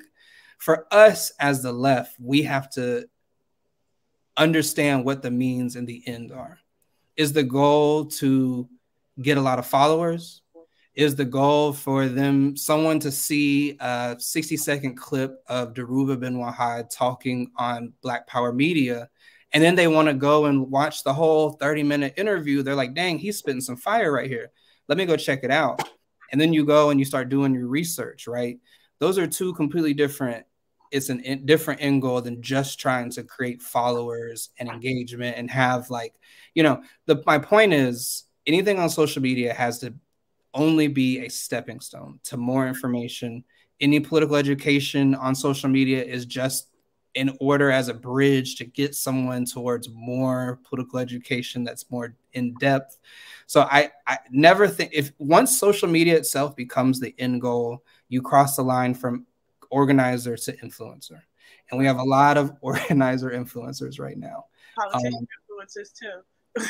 it's no different. So so so real quick, just because I want to make sure we we have some time for this, because you you sent Dev uh, a couple things, including something on Israeli propaganda, which I didn't get a chance to look at, admittedly. But but I did want to ask you about this other piece uh, that you you you you you sent a couple of examples uh, of of of rappers, and I'm wondering, given that if it's not Jews who are supposed to be running everything, it's certainly the queer community. And I'm wondering why these rappers you sent aren't more popular just by default. Like, why aren't we just inundated with a whole bunch of these MCs that you sent?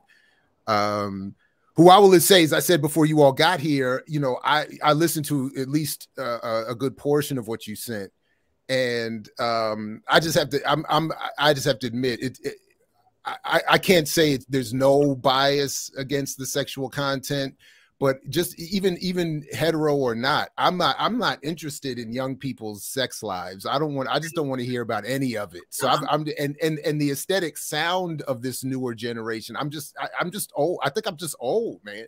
I, so I like I I anyway, but but I recognize the talent and the skill, and then other than whatever politics are associated with the industry, I would not, again, sort of seriously to, to my initial question, I'm not sure why these artists wouldn't be more popular, but uh, I'm not hearing them discussed certainly in my classes uh, as much as others. So uh, anyway, but I wanted to give you some some some time to bring up and talk about these artists um, and it, you know, and anything else that you wanted to.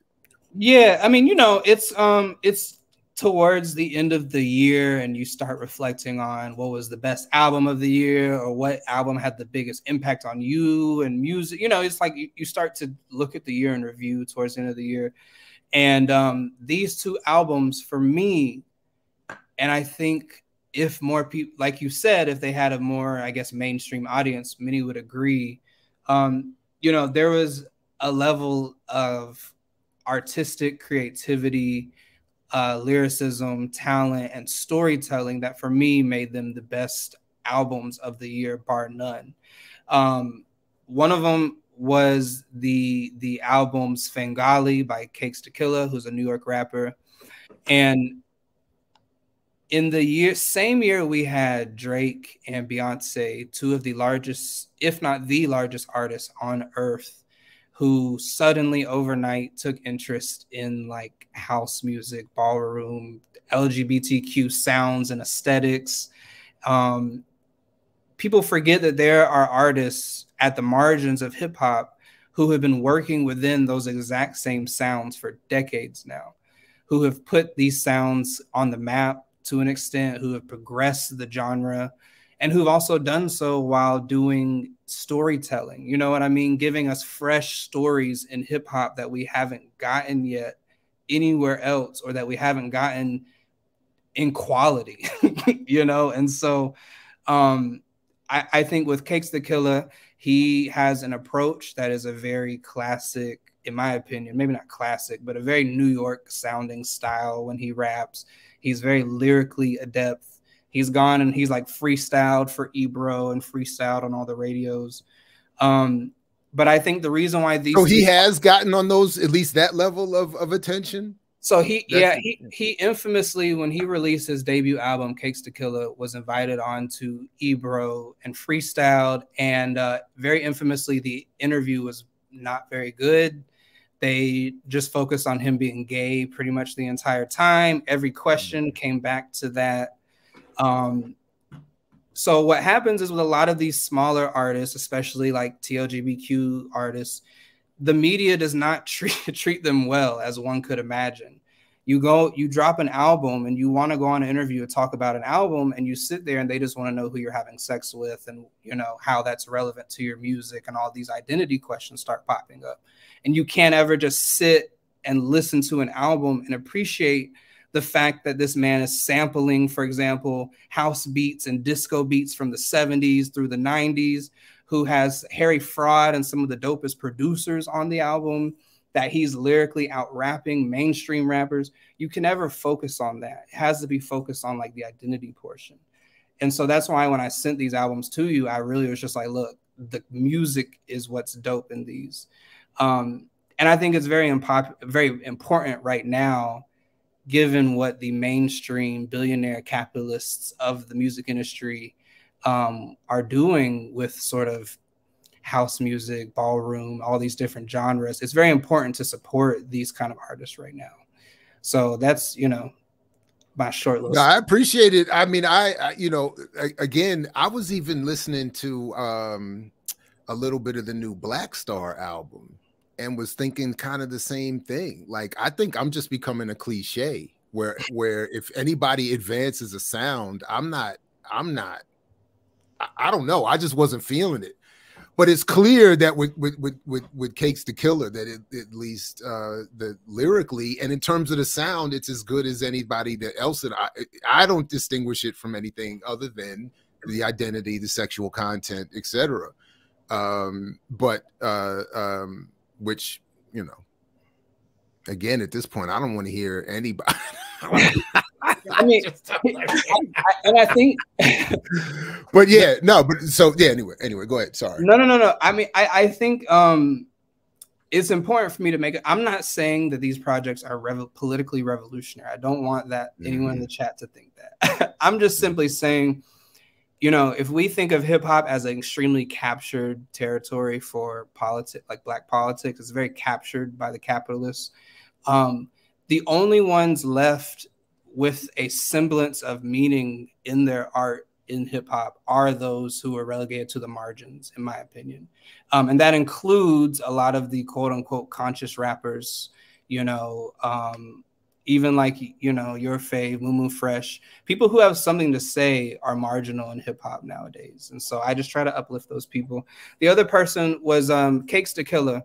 I mean, I'm sorry, Mykki Blanco, and he had an album, Stay mm-hmm. Close to Music. And by the way, Mykki Blanco in in um he he pretty much co-wrote and ghost wrote all of like Teyana Taylor's that famous seven track album, Keep That Same Energy. He wrote Kanye West's verse for Kanye on that album, didn't get paid for it. He wrote multiple of Teyana Taylor's verses, didn't get paid for it. Um, what is, wait, wait, wait, what does that mean? And what is that? Is that a scandal going on, or what does that mean? This was, it's, it's, this was from like a year or two ago. Um, you know, everyone at Teyana Taylor and Kanye West management were just not responding to Mykki Blanco. And the album had been out for like a year and he had not got paid. So he took to Twitter to do it publicly. And Teyana Taylor's response was, That's none of my business. So mind you technically it was it was mind you the song the song that Mykki Blanco is on on Teyana Taylor's album Mykki wasn't even originally credited as a feature artist no produced wow. the song wrote the song had a verse and is on the song and but also but you should note that Teyana also didn't really have much say in that album either. It was not supposed to be seven tracks. She went and did her own thing separately to release more tracks, but that was all under good music and Kanye. Listen, all I know is Mykki mm. Blanco said that Teyana Taylor would come into the studio and say, What are my lyrics? What am I singing today? and then leave. And so the work ethic for me is not there. Nonetheless, Mykki Blanco is a black trans person who is openly HIV positive, And this is the first album of theirs where he openly talks about his experiences being HIV positive, the stigma, the impact, the way community has treated him. He's very vulnerable and he talks about how when he first was like when he was younger, he um he only wanted to date white men. So he talks about how stupid that was, how how much he was having self-hate. Tell me how many mainstream rappers have talked about when they only wanted white partners and they're better now. You know, like there's a level of vulnerability to the to the storytelling that I just haven't heard anywhere else, at least not this year. You know I heard mean? that. I, I I'm glad you brought that up and reminded me, as I I heard that on this album, uh, that point, and then um uh I was I was interested. I saw you know what for me is a return for Saul Williams. I haven't heard from him in Mhm. forever. I'm sure that's my fault. Michael Stipe, I was never a fan, but I was shocked to see that that I was like, wow, Michael Stipe. So I was like, that's interesting. Now, this track here, I did, I, I appreciated your feminism is not my feminism. I, I admit that that spoke to my pettiness personally. uh um you know but but again so so for me again it's it's a clear recognition of talent this is not a question of talent it's just i'm just a, again i think i really am a cliche. I'm just not there's something about the sound and the i don't know. I'm not i don't know. I want i don't know whatever it is. But but uh um anyway yeah so. I'll, I'll but say, all of that is deep though what you're saying about the industry and the, these these relationships is deep. Yeah.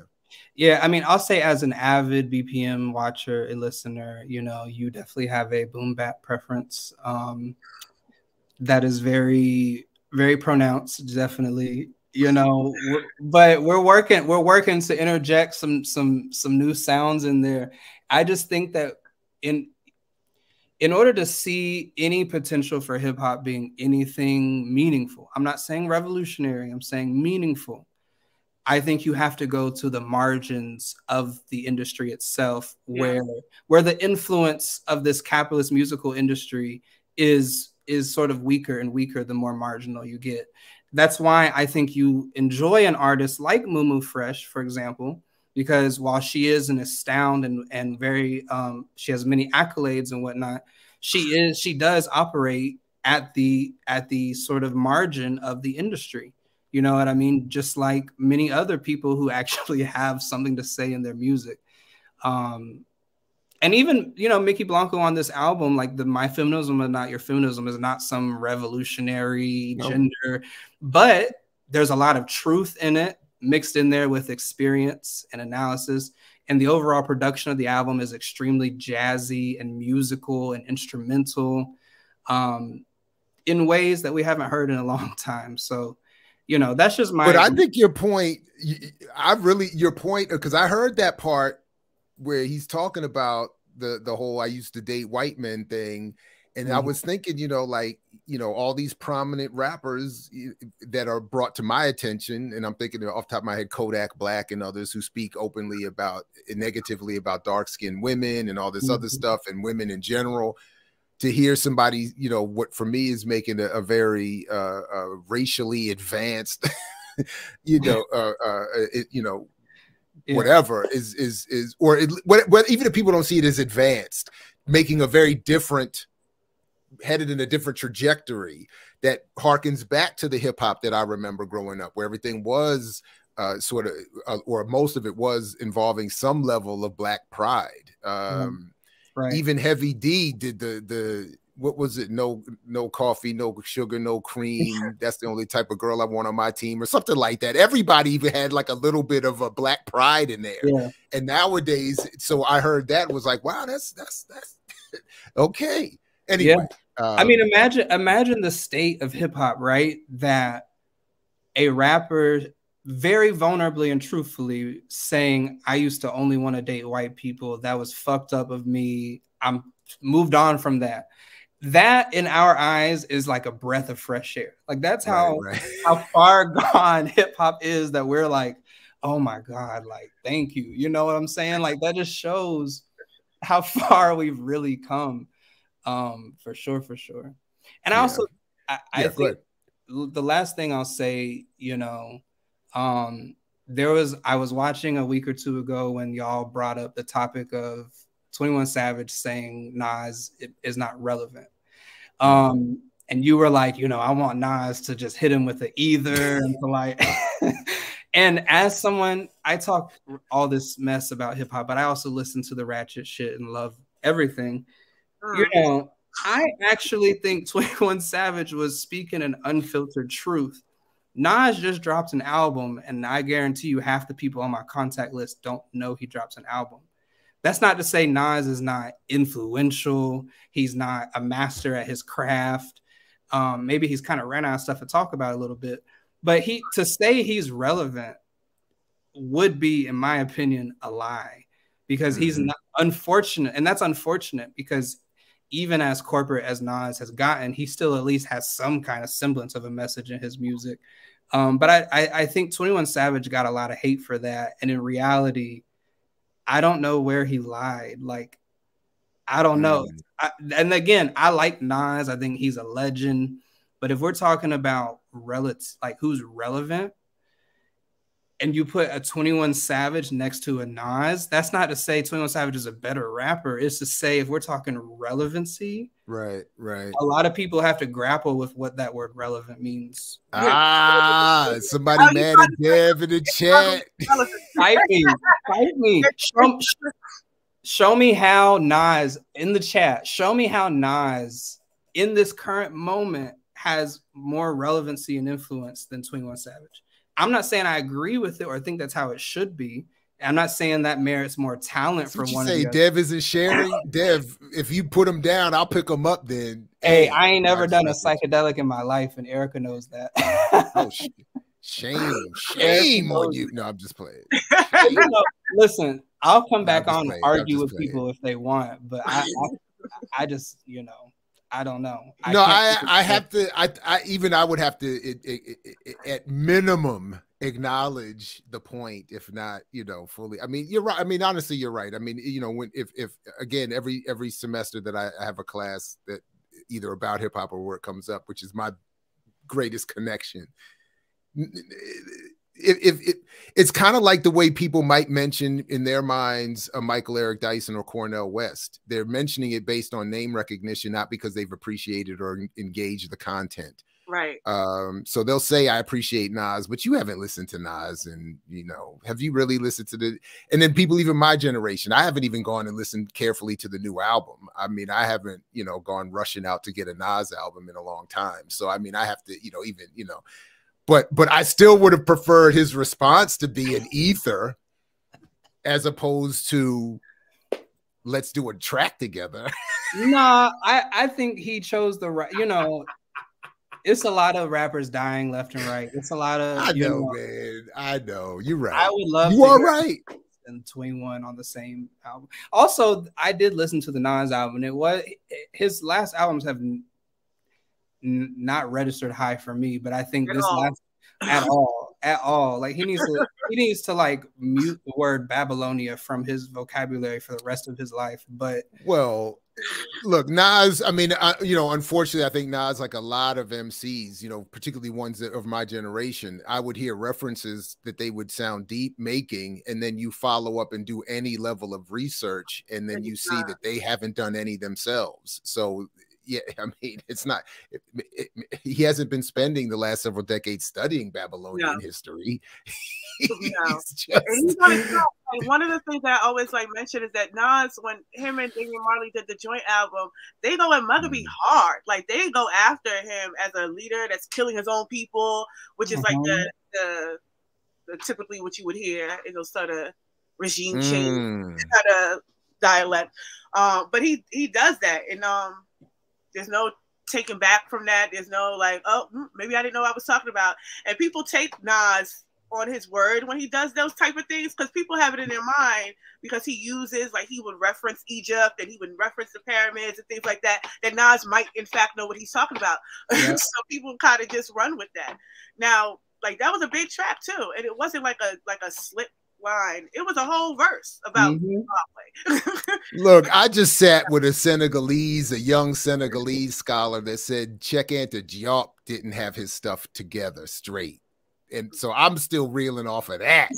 So if if if Diop can get checked after 40 years, certainly yeah. Nas can. Good God. But listen, you know, I don't know how you all are for time. I don't want to rush us off. Uh, I know we're coming to the end here, but you did also send a piece about this this Israeli propaganda. I don't know if you have time or if you all want to mention that or or, or chop it up on that at all. or save that for another time uh, or whatever. But uh, another 10 think- minutes. Yeah, I have some time today, luckily. Um, but the last so I thing just I, do pulled want- this up here. No, go Yeah, ahead. Go ahead. Go ahead. Go ahead. I think um, I just want to give a shout out to Dr. Seneca Vaught. I'm gonna send him a link to this so he can actually listen to this. In my very, very first African and African diaspora uh, studies 101, you know, very, very first class, that my first week in college, um, Dr. Seneca Vaught, he pulled up the Nas song with Lauryn Hill, "If I Ruled the World," um, and he's like, "I'm just gonna play it." I, you know, this is how we're gonna start class, and everyone's like rocking. We all recognize, we everyone knows that song. You know, it's a hot song. It's one of those songs that's lasted the test of time. Anytime it comes on, you're gonna play it. So he, we listen to it, and then he says, "All right, now we're gonna listen, and I'm gonna put the lyrics up on the screen, and we're gonna read the lyrics together." And he starts getting into the history that Nas is proclaiming, and it just gets worse and worse and worse. and he's saying the some, you know, not all the song, but a lot of it is some fake history and some just very inaccurate history. And he, Dr. Seneca Vaught, y'all can look him up. He's the one who gave me the analysis that the, the diaspora is a state of mind. I, I love Dr. Seneca Vaught's work.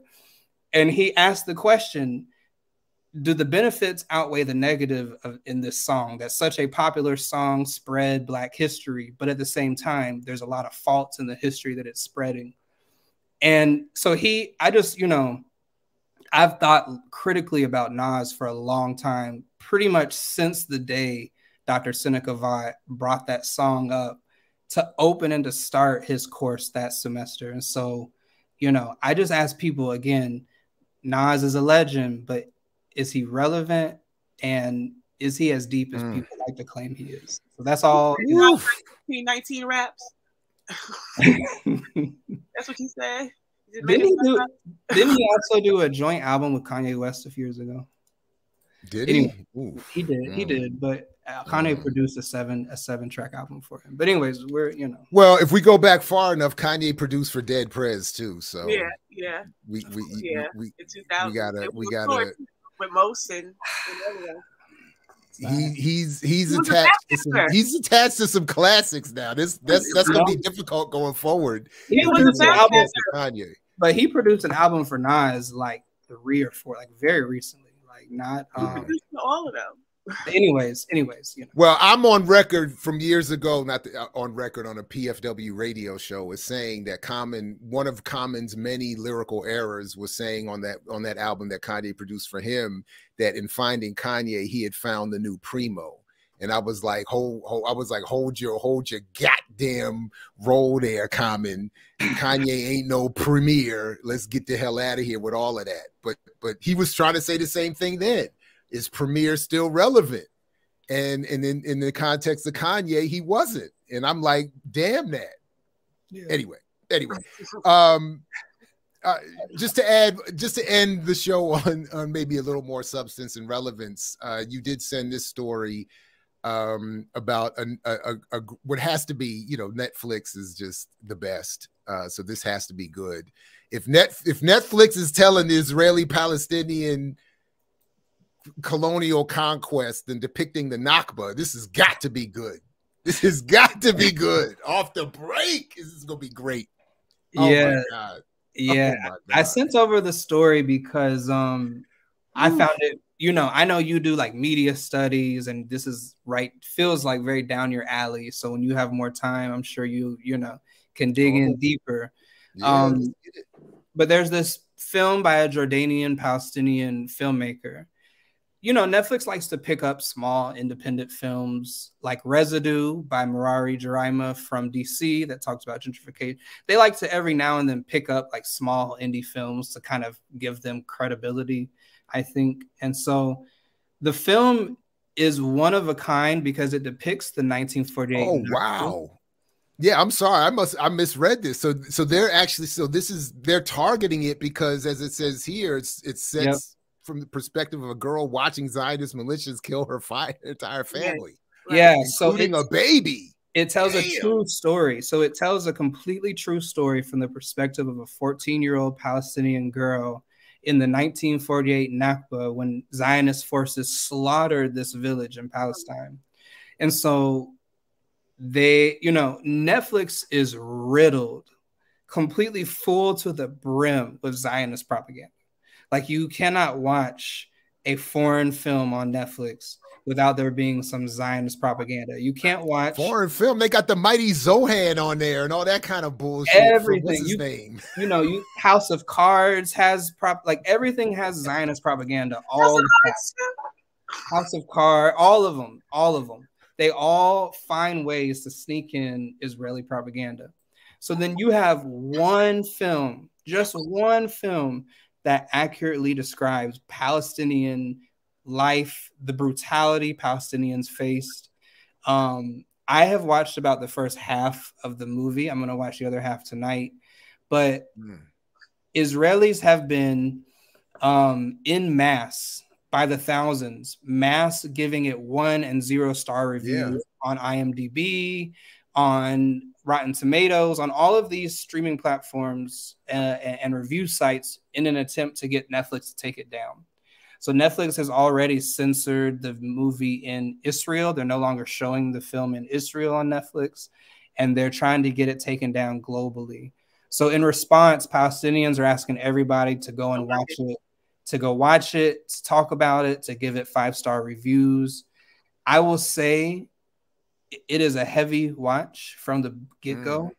but it is a really, from what I've seen so far, I'm not Palestinian. I'm not going to say if it's radical or revolutionary or whatever or not. That's not for me to say. But I know that from what I've seen so far, Israelis are mad because it just shows the truth of what happened. Right. And they're big. mad. I do want to note though, I don't I don't necessarily even think they're mad about the truth. I think they're mad about who is telling the truth. Yeah. Um, I think when we look historically, Palestinians have never been really allowed to tell their truth um, because it's Israeli um, based movies or there's movies based on Palestine, but they are always either sympathetic to Israel, um, showing like both sides are bad, or um, they take a sort of liberal Zionist framework where they do show some compassion for Palestine, but it never really it never really wrestles with the question of settler colonialism. Yeah. Um, Added to my my list. I'll be watching it later today. and I By the way, did you? Sorry, go ahead, Eric. Sorry, go No, I was, I was just going to conclude with like, and I think that's really what's the driving force behind the the um the campaign to get it taken down by Zionists is because it's a palace it's Palestinians telling their story, and the same way that the the, the flag is outlawed, um, and certain texts are outlawed. It's, it's it's a way to sort of like um discontinue their history or just allow for them to tell it.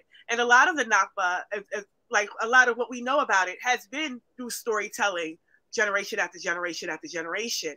What they want to do is end those voices so that those that can't continue.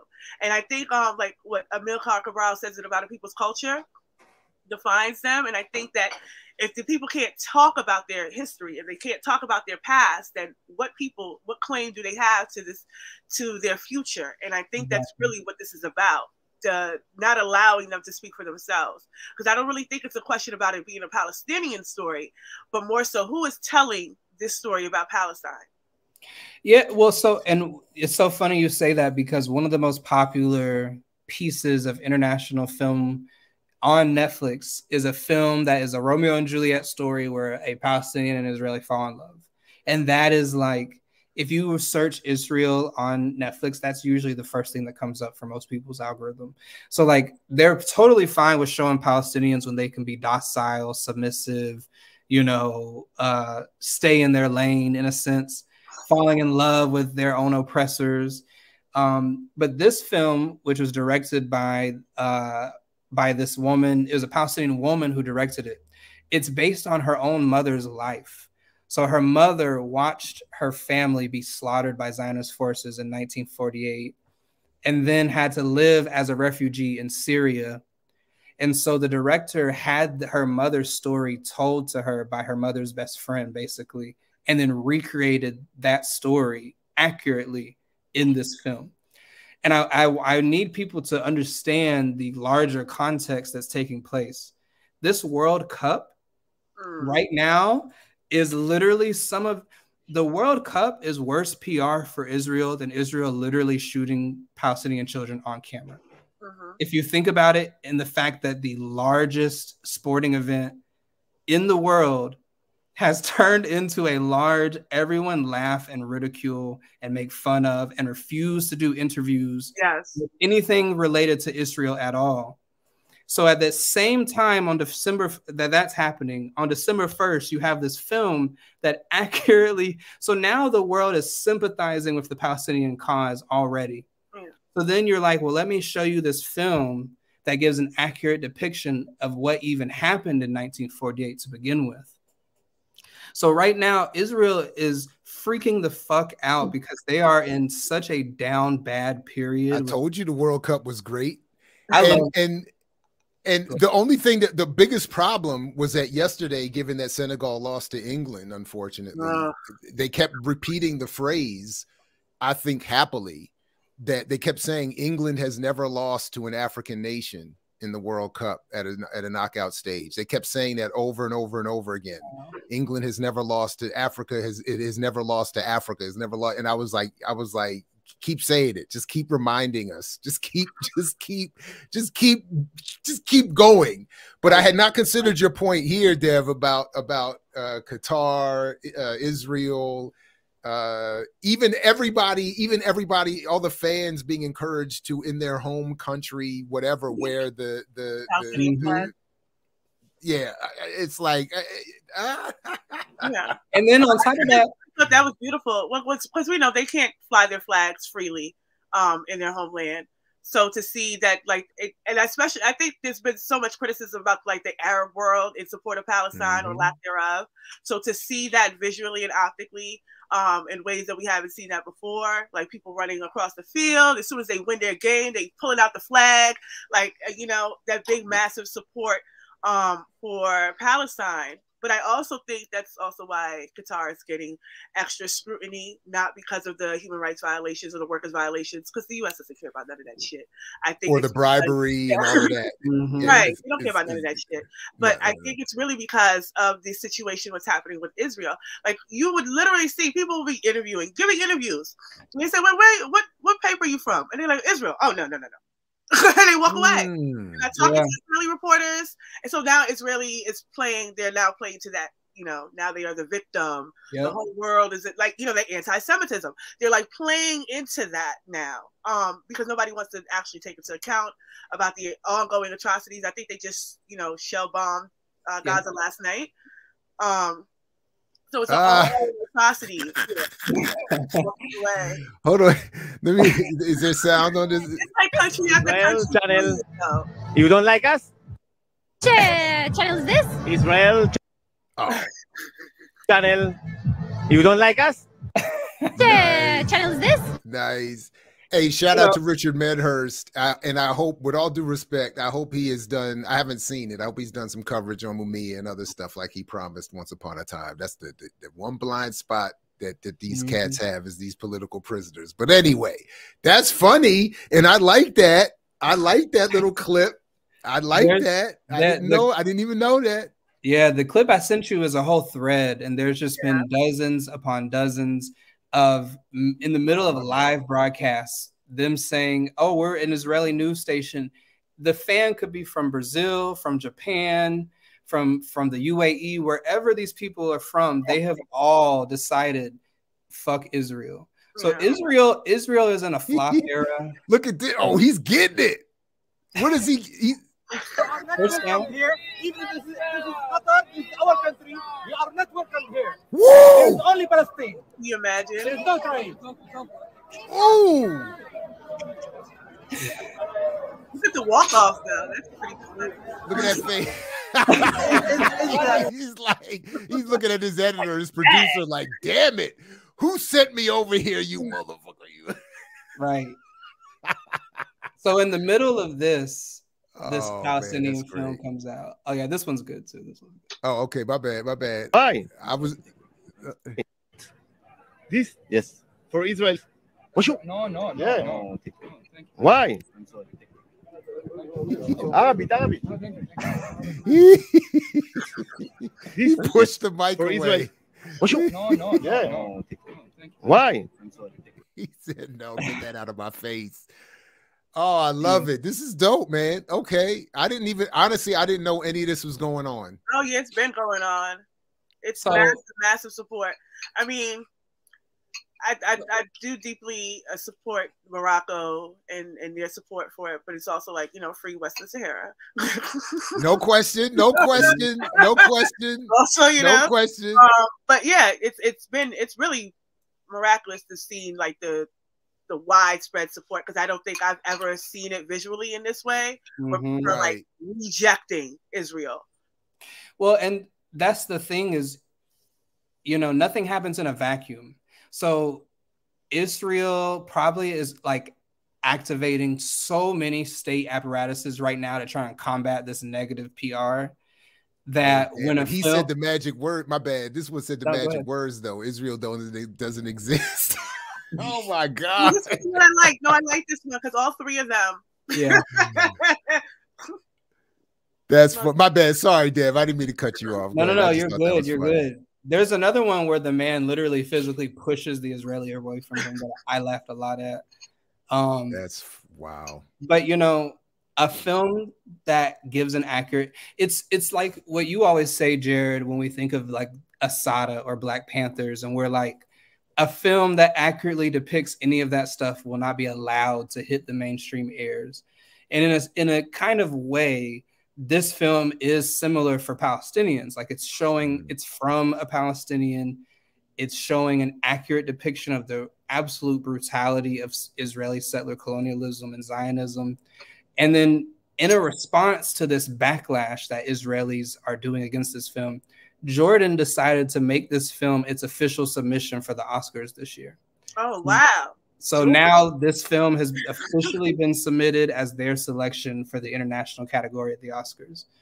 So it's just, I've just been trying to stay aware of what's happening, and this story to Has me. more been done to reveal the Oscar process? Like who's who's sorry about go ahead, Ricki. Sorry. No, I was gonna say she's Jordan. She's from Jordan, right? She's a uh, Palestinian from Jordan. So, okay. Yeah. I'm like, wow, Jordan. Yeah, yeah. So we're gonna we're gonna continue hearing about this film, and right now the ADL and all of the Jewish, um, you know, Jewish Zionist organizations in the U.S. are claiming it's anti-Semitic and that the film portrays Israel in a negative light. And literally the exact same day this film hit Netflix, video sh- there was video that came out showing that uh, Israeli occupation forces shooting a Palestinian in the face at point blank range and I believe I could be wrong, but he was a it was a teenage it was a Yeah. child, a teenage boy. So literally, you're claiming this is so barbaric and that it doesn't show Israel in a good light, and on the exact same day, you're doing the thing that you're so mad about. It's it, I don't know Israel. I think in terms of PR and propaganda, um, they're entering into a flop era. Palestinian resistance is armed and ready and is like has been ongoing now for several summers at this point. Israel is down bad and getting badder and more brazen, hence why they have now turned to this strong right wing coalition government. They know they're down bad. They know that people now can see exactly how violent they are. So, what do you do? Of course, you turn to an even more uh, dangerous version of fascism than what you've already been operating at. Can I just, uh, I just want to make a full circle thing too. We could also see one of the biggest supporters of the hashtag Women Like Freedom is coming out of Israel. Israel has direct issues with Iran. Iran provides material support, not these hashtag Free Palestine um, tweets. No, material support, weaponries, you know, things that that, that they need um, to Palestine and has been for decades. One of the first countries was Israel, and it continues to be Israel um, to step inside and, and protect um, Iranian woman, right? Because they and that's why, oh my God, the beauty of the Iranian USA game the other day. I was like, somebody called Cress Welsing from Beyond the Heavens, because the, the, the player they call they literally call Captain America literally also put his pelvic region on the line to get the goal needed to get past Iran. He literally put his balls on the line. I saw that. I saw It's that. reproductive capacity, Cress Welsing would have been saying. He put his DNA on the line to stop Iran. and he walked and he hobbled off the field. and hobbled off the field. Yeah. And then somebody literally, and then one of the announcers actually said he did a Willis Reed to, to come back on. Now, only people of a certain age might remember Willis Reed, the black New York Knick, to come back onto the court after hurting himself just to make a, a symbolic, you know, heroic, I'm still here for you. So they gave Christian Pulisic all of that. I was just like, man, this is too perfect. Even as Iran went out, I was like, you know, come on, man. They- Look, you know, but ball. Chris My mother's in Welsing, My mother's in the background saying, mm-hmm, "Yep, that man always used to say he was hurt."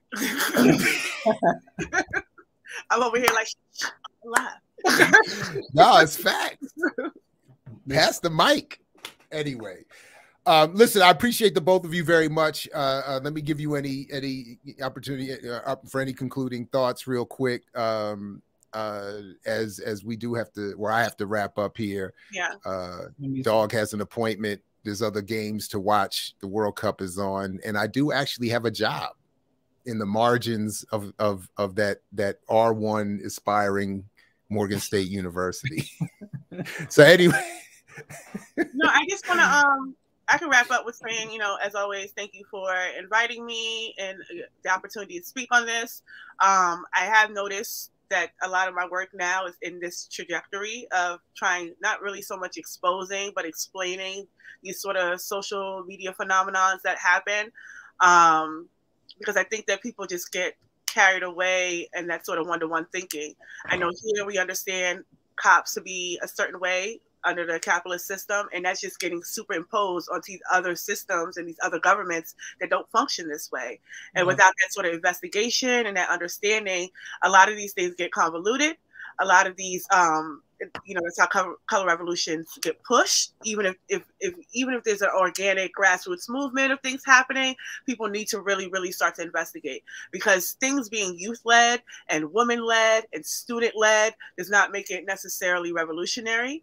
Um, it does not mean that it doesn't have reactionary tendencies or is not serving um, empire. So I think that folks should really uh, keep that in mind. Um, be you know a little more critical about these Instagram posts, um, a little more critical about these threads. Um, ask folks for footnotes, ask for sources, Mhm. um, investigate those sources because something coming from a newspaper does not mean that it's not NED backed or USAID backed, uh, because a lot of the reports on Iran was coming from Saudi backed papers, and you know Saudi and Iran have conflict, um, and Israel as well. So and nobody should be offended if you ask them for a citation. no, Okay, I just want to nobody. They should be happy to share sources. So Right. please ask. so that's just really what I wanted to sort of get through to folks. It's not really a matter because even like I said in the discussions in the chat, it's really not a matter of um not your business, mind your business, but it is like you have a role that you play specifically as a citizen or as a person living within empire. And honestly, nobody living in other countries cares about what you as an individual has to say about what's going on in their country. They're concerned about what their citizens have to say and how far that can go. And I think that if we understood the power that we hold or or the positionality that we hold within empire, that we would be less um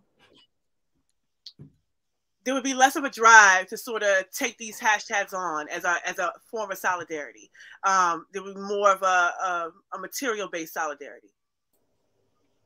Right on. Yeah, I mean it's hard to follow up. It's hard to follow up with that. I agree with everything Ricki said, as per usual. Um, you know, I hope folks don't fall for the easy one-two swoop, left, right, left, right, uppercut. The Instagram carousel saying that Iran is mass executing 15,000 people on live stream for everyone to see, or whatever they're saying. Viola Davis and Vic Mensa are sharing whatever info these black celebs are sharing, all these trending hashtags and all that. Just look for the actual information. And if there are luminaries who you trust academically and politically, reach out to them, ask them how you, you know, for some readings. If you're in an organization, lean on your organization and trust the analysis of your organization to have the proper line on these different things. Um, and yeah, you can follow both me and Ricki on Patreon. Um, that's where I do all my writing and talking nowadays. We we have like some Discord shows me and Ricki do together that we're trying to get better at. Um, you know, what'd you say? In the cipher.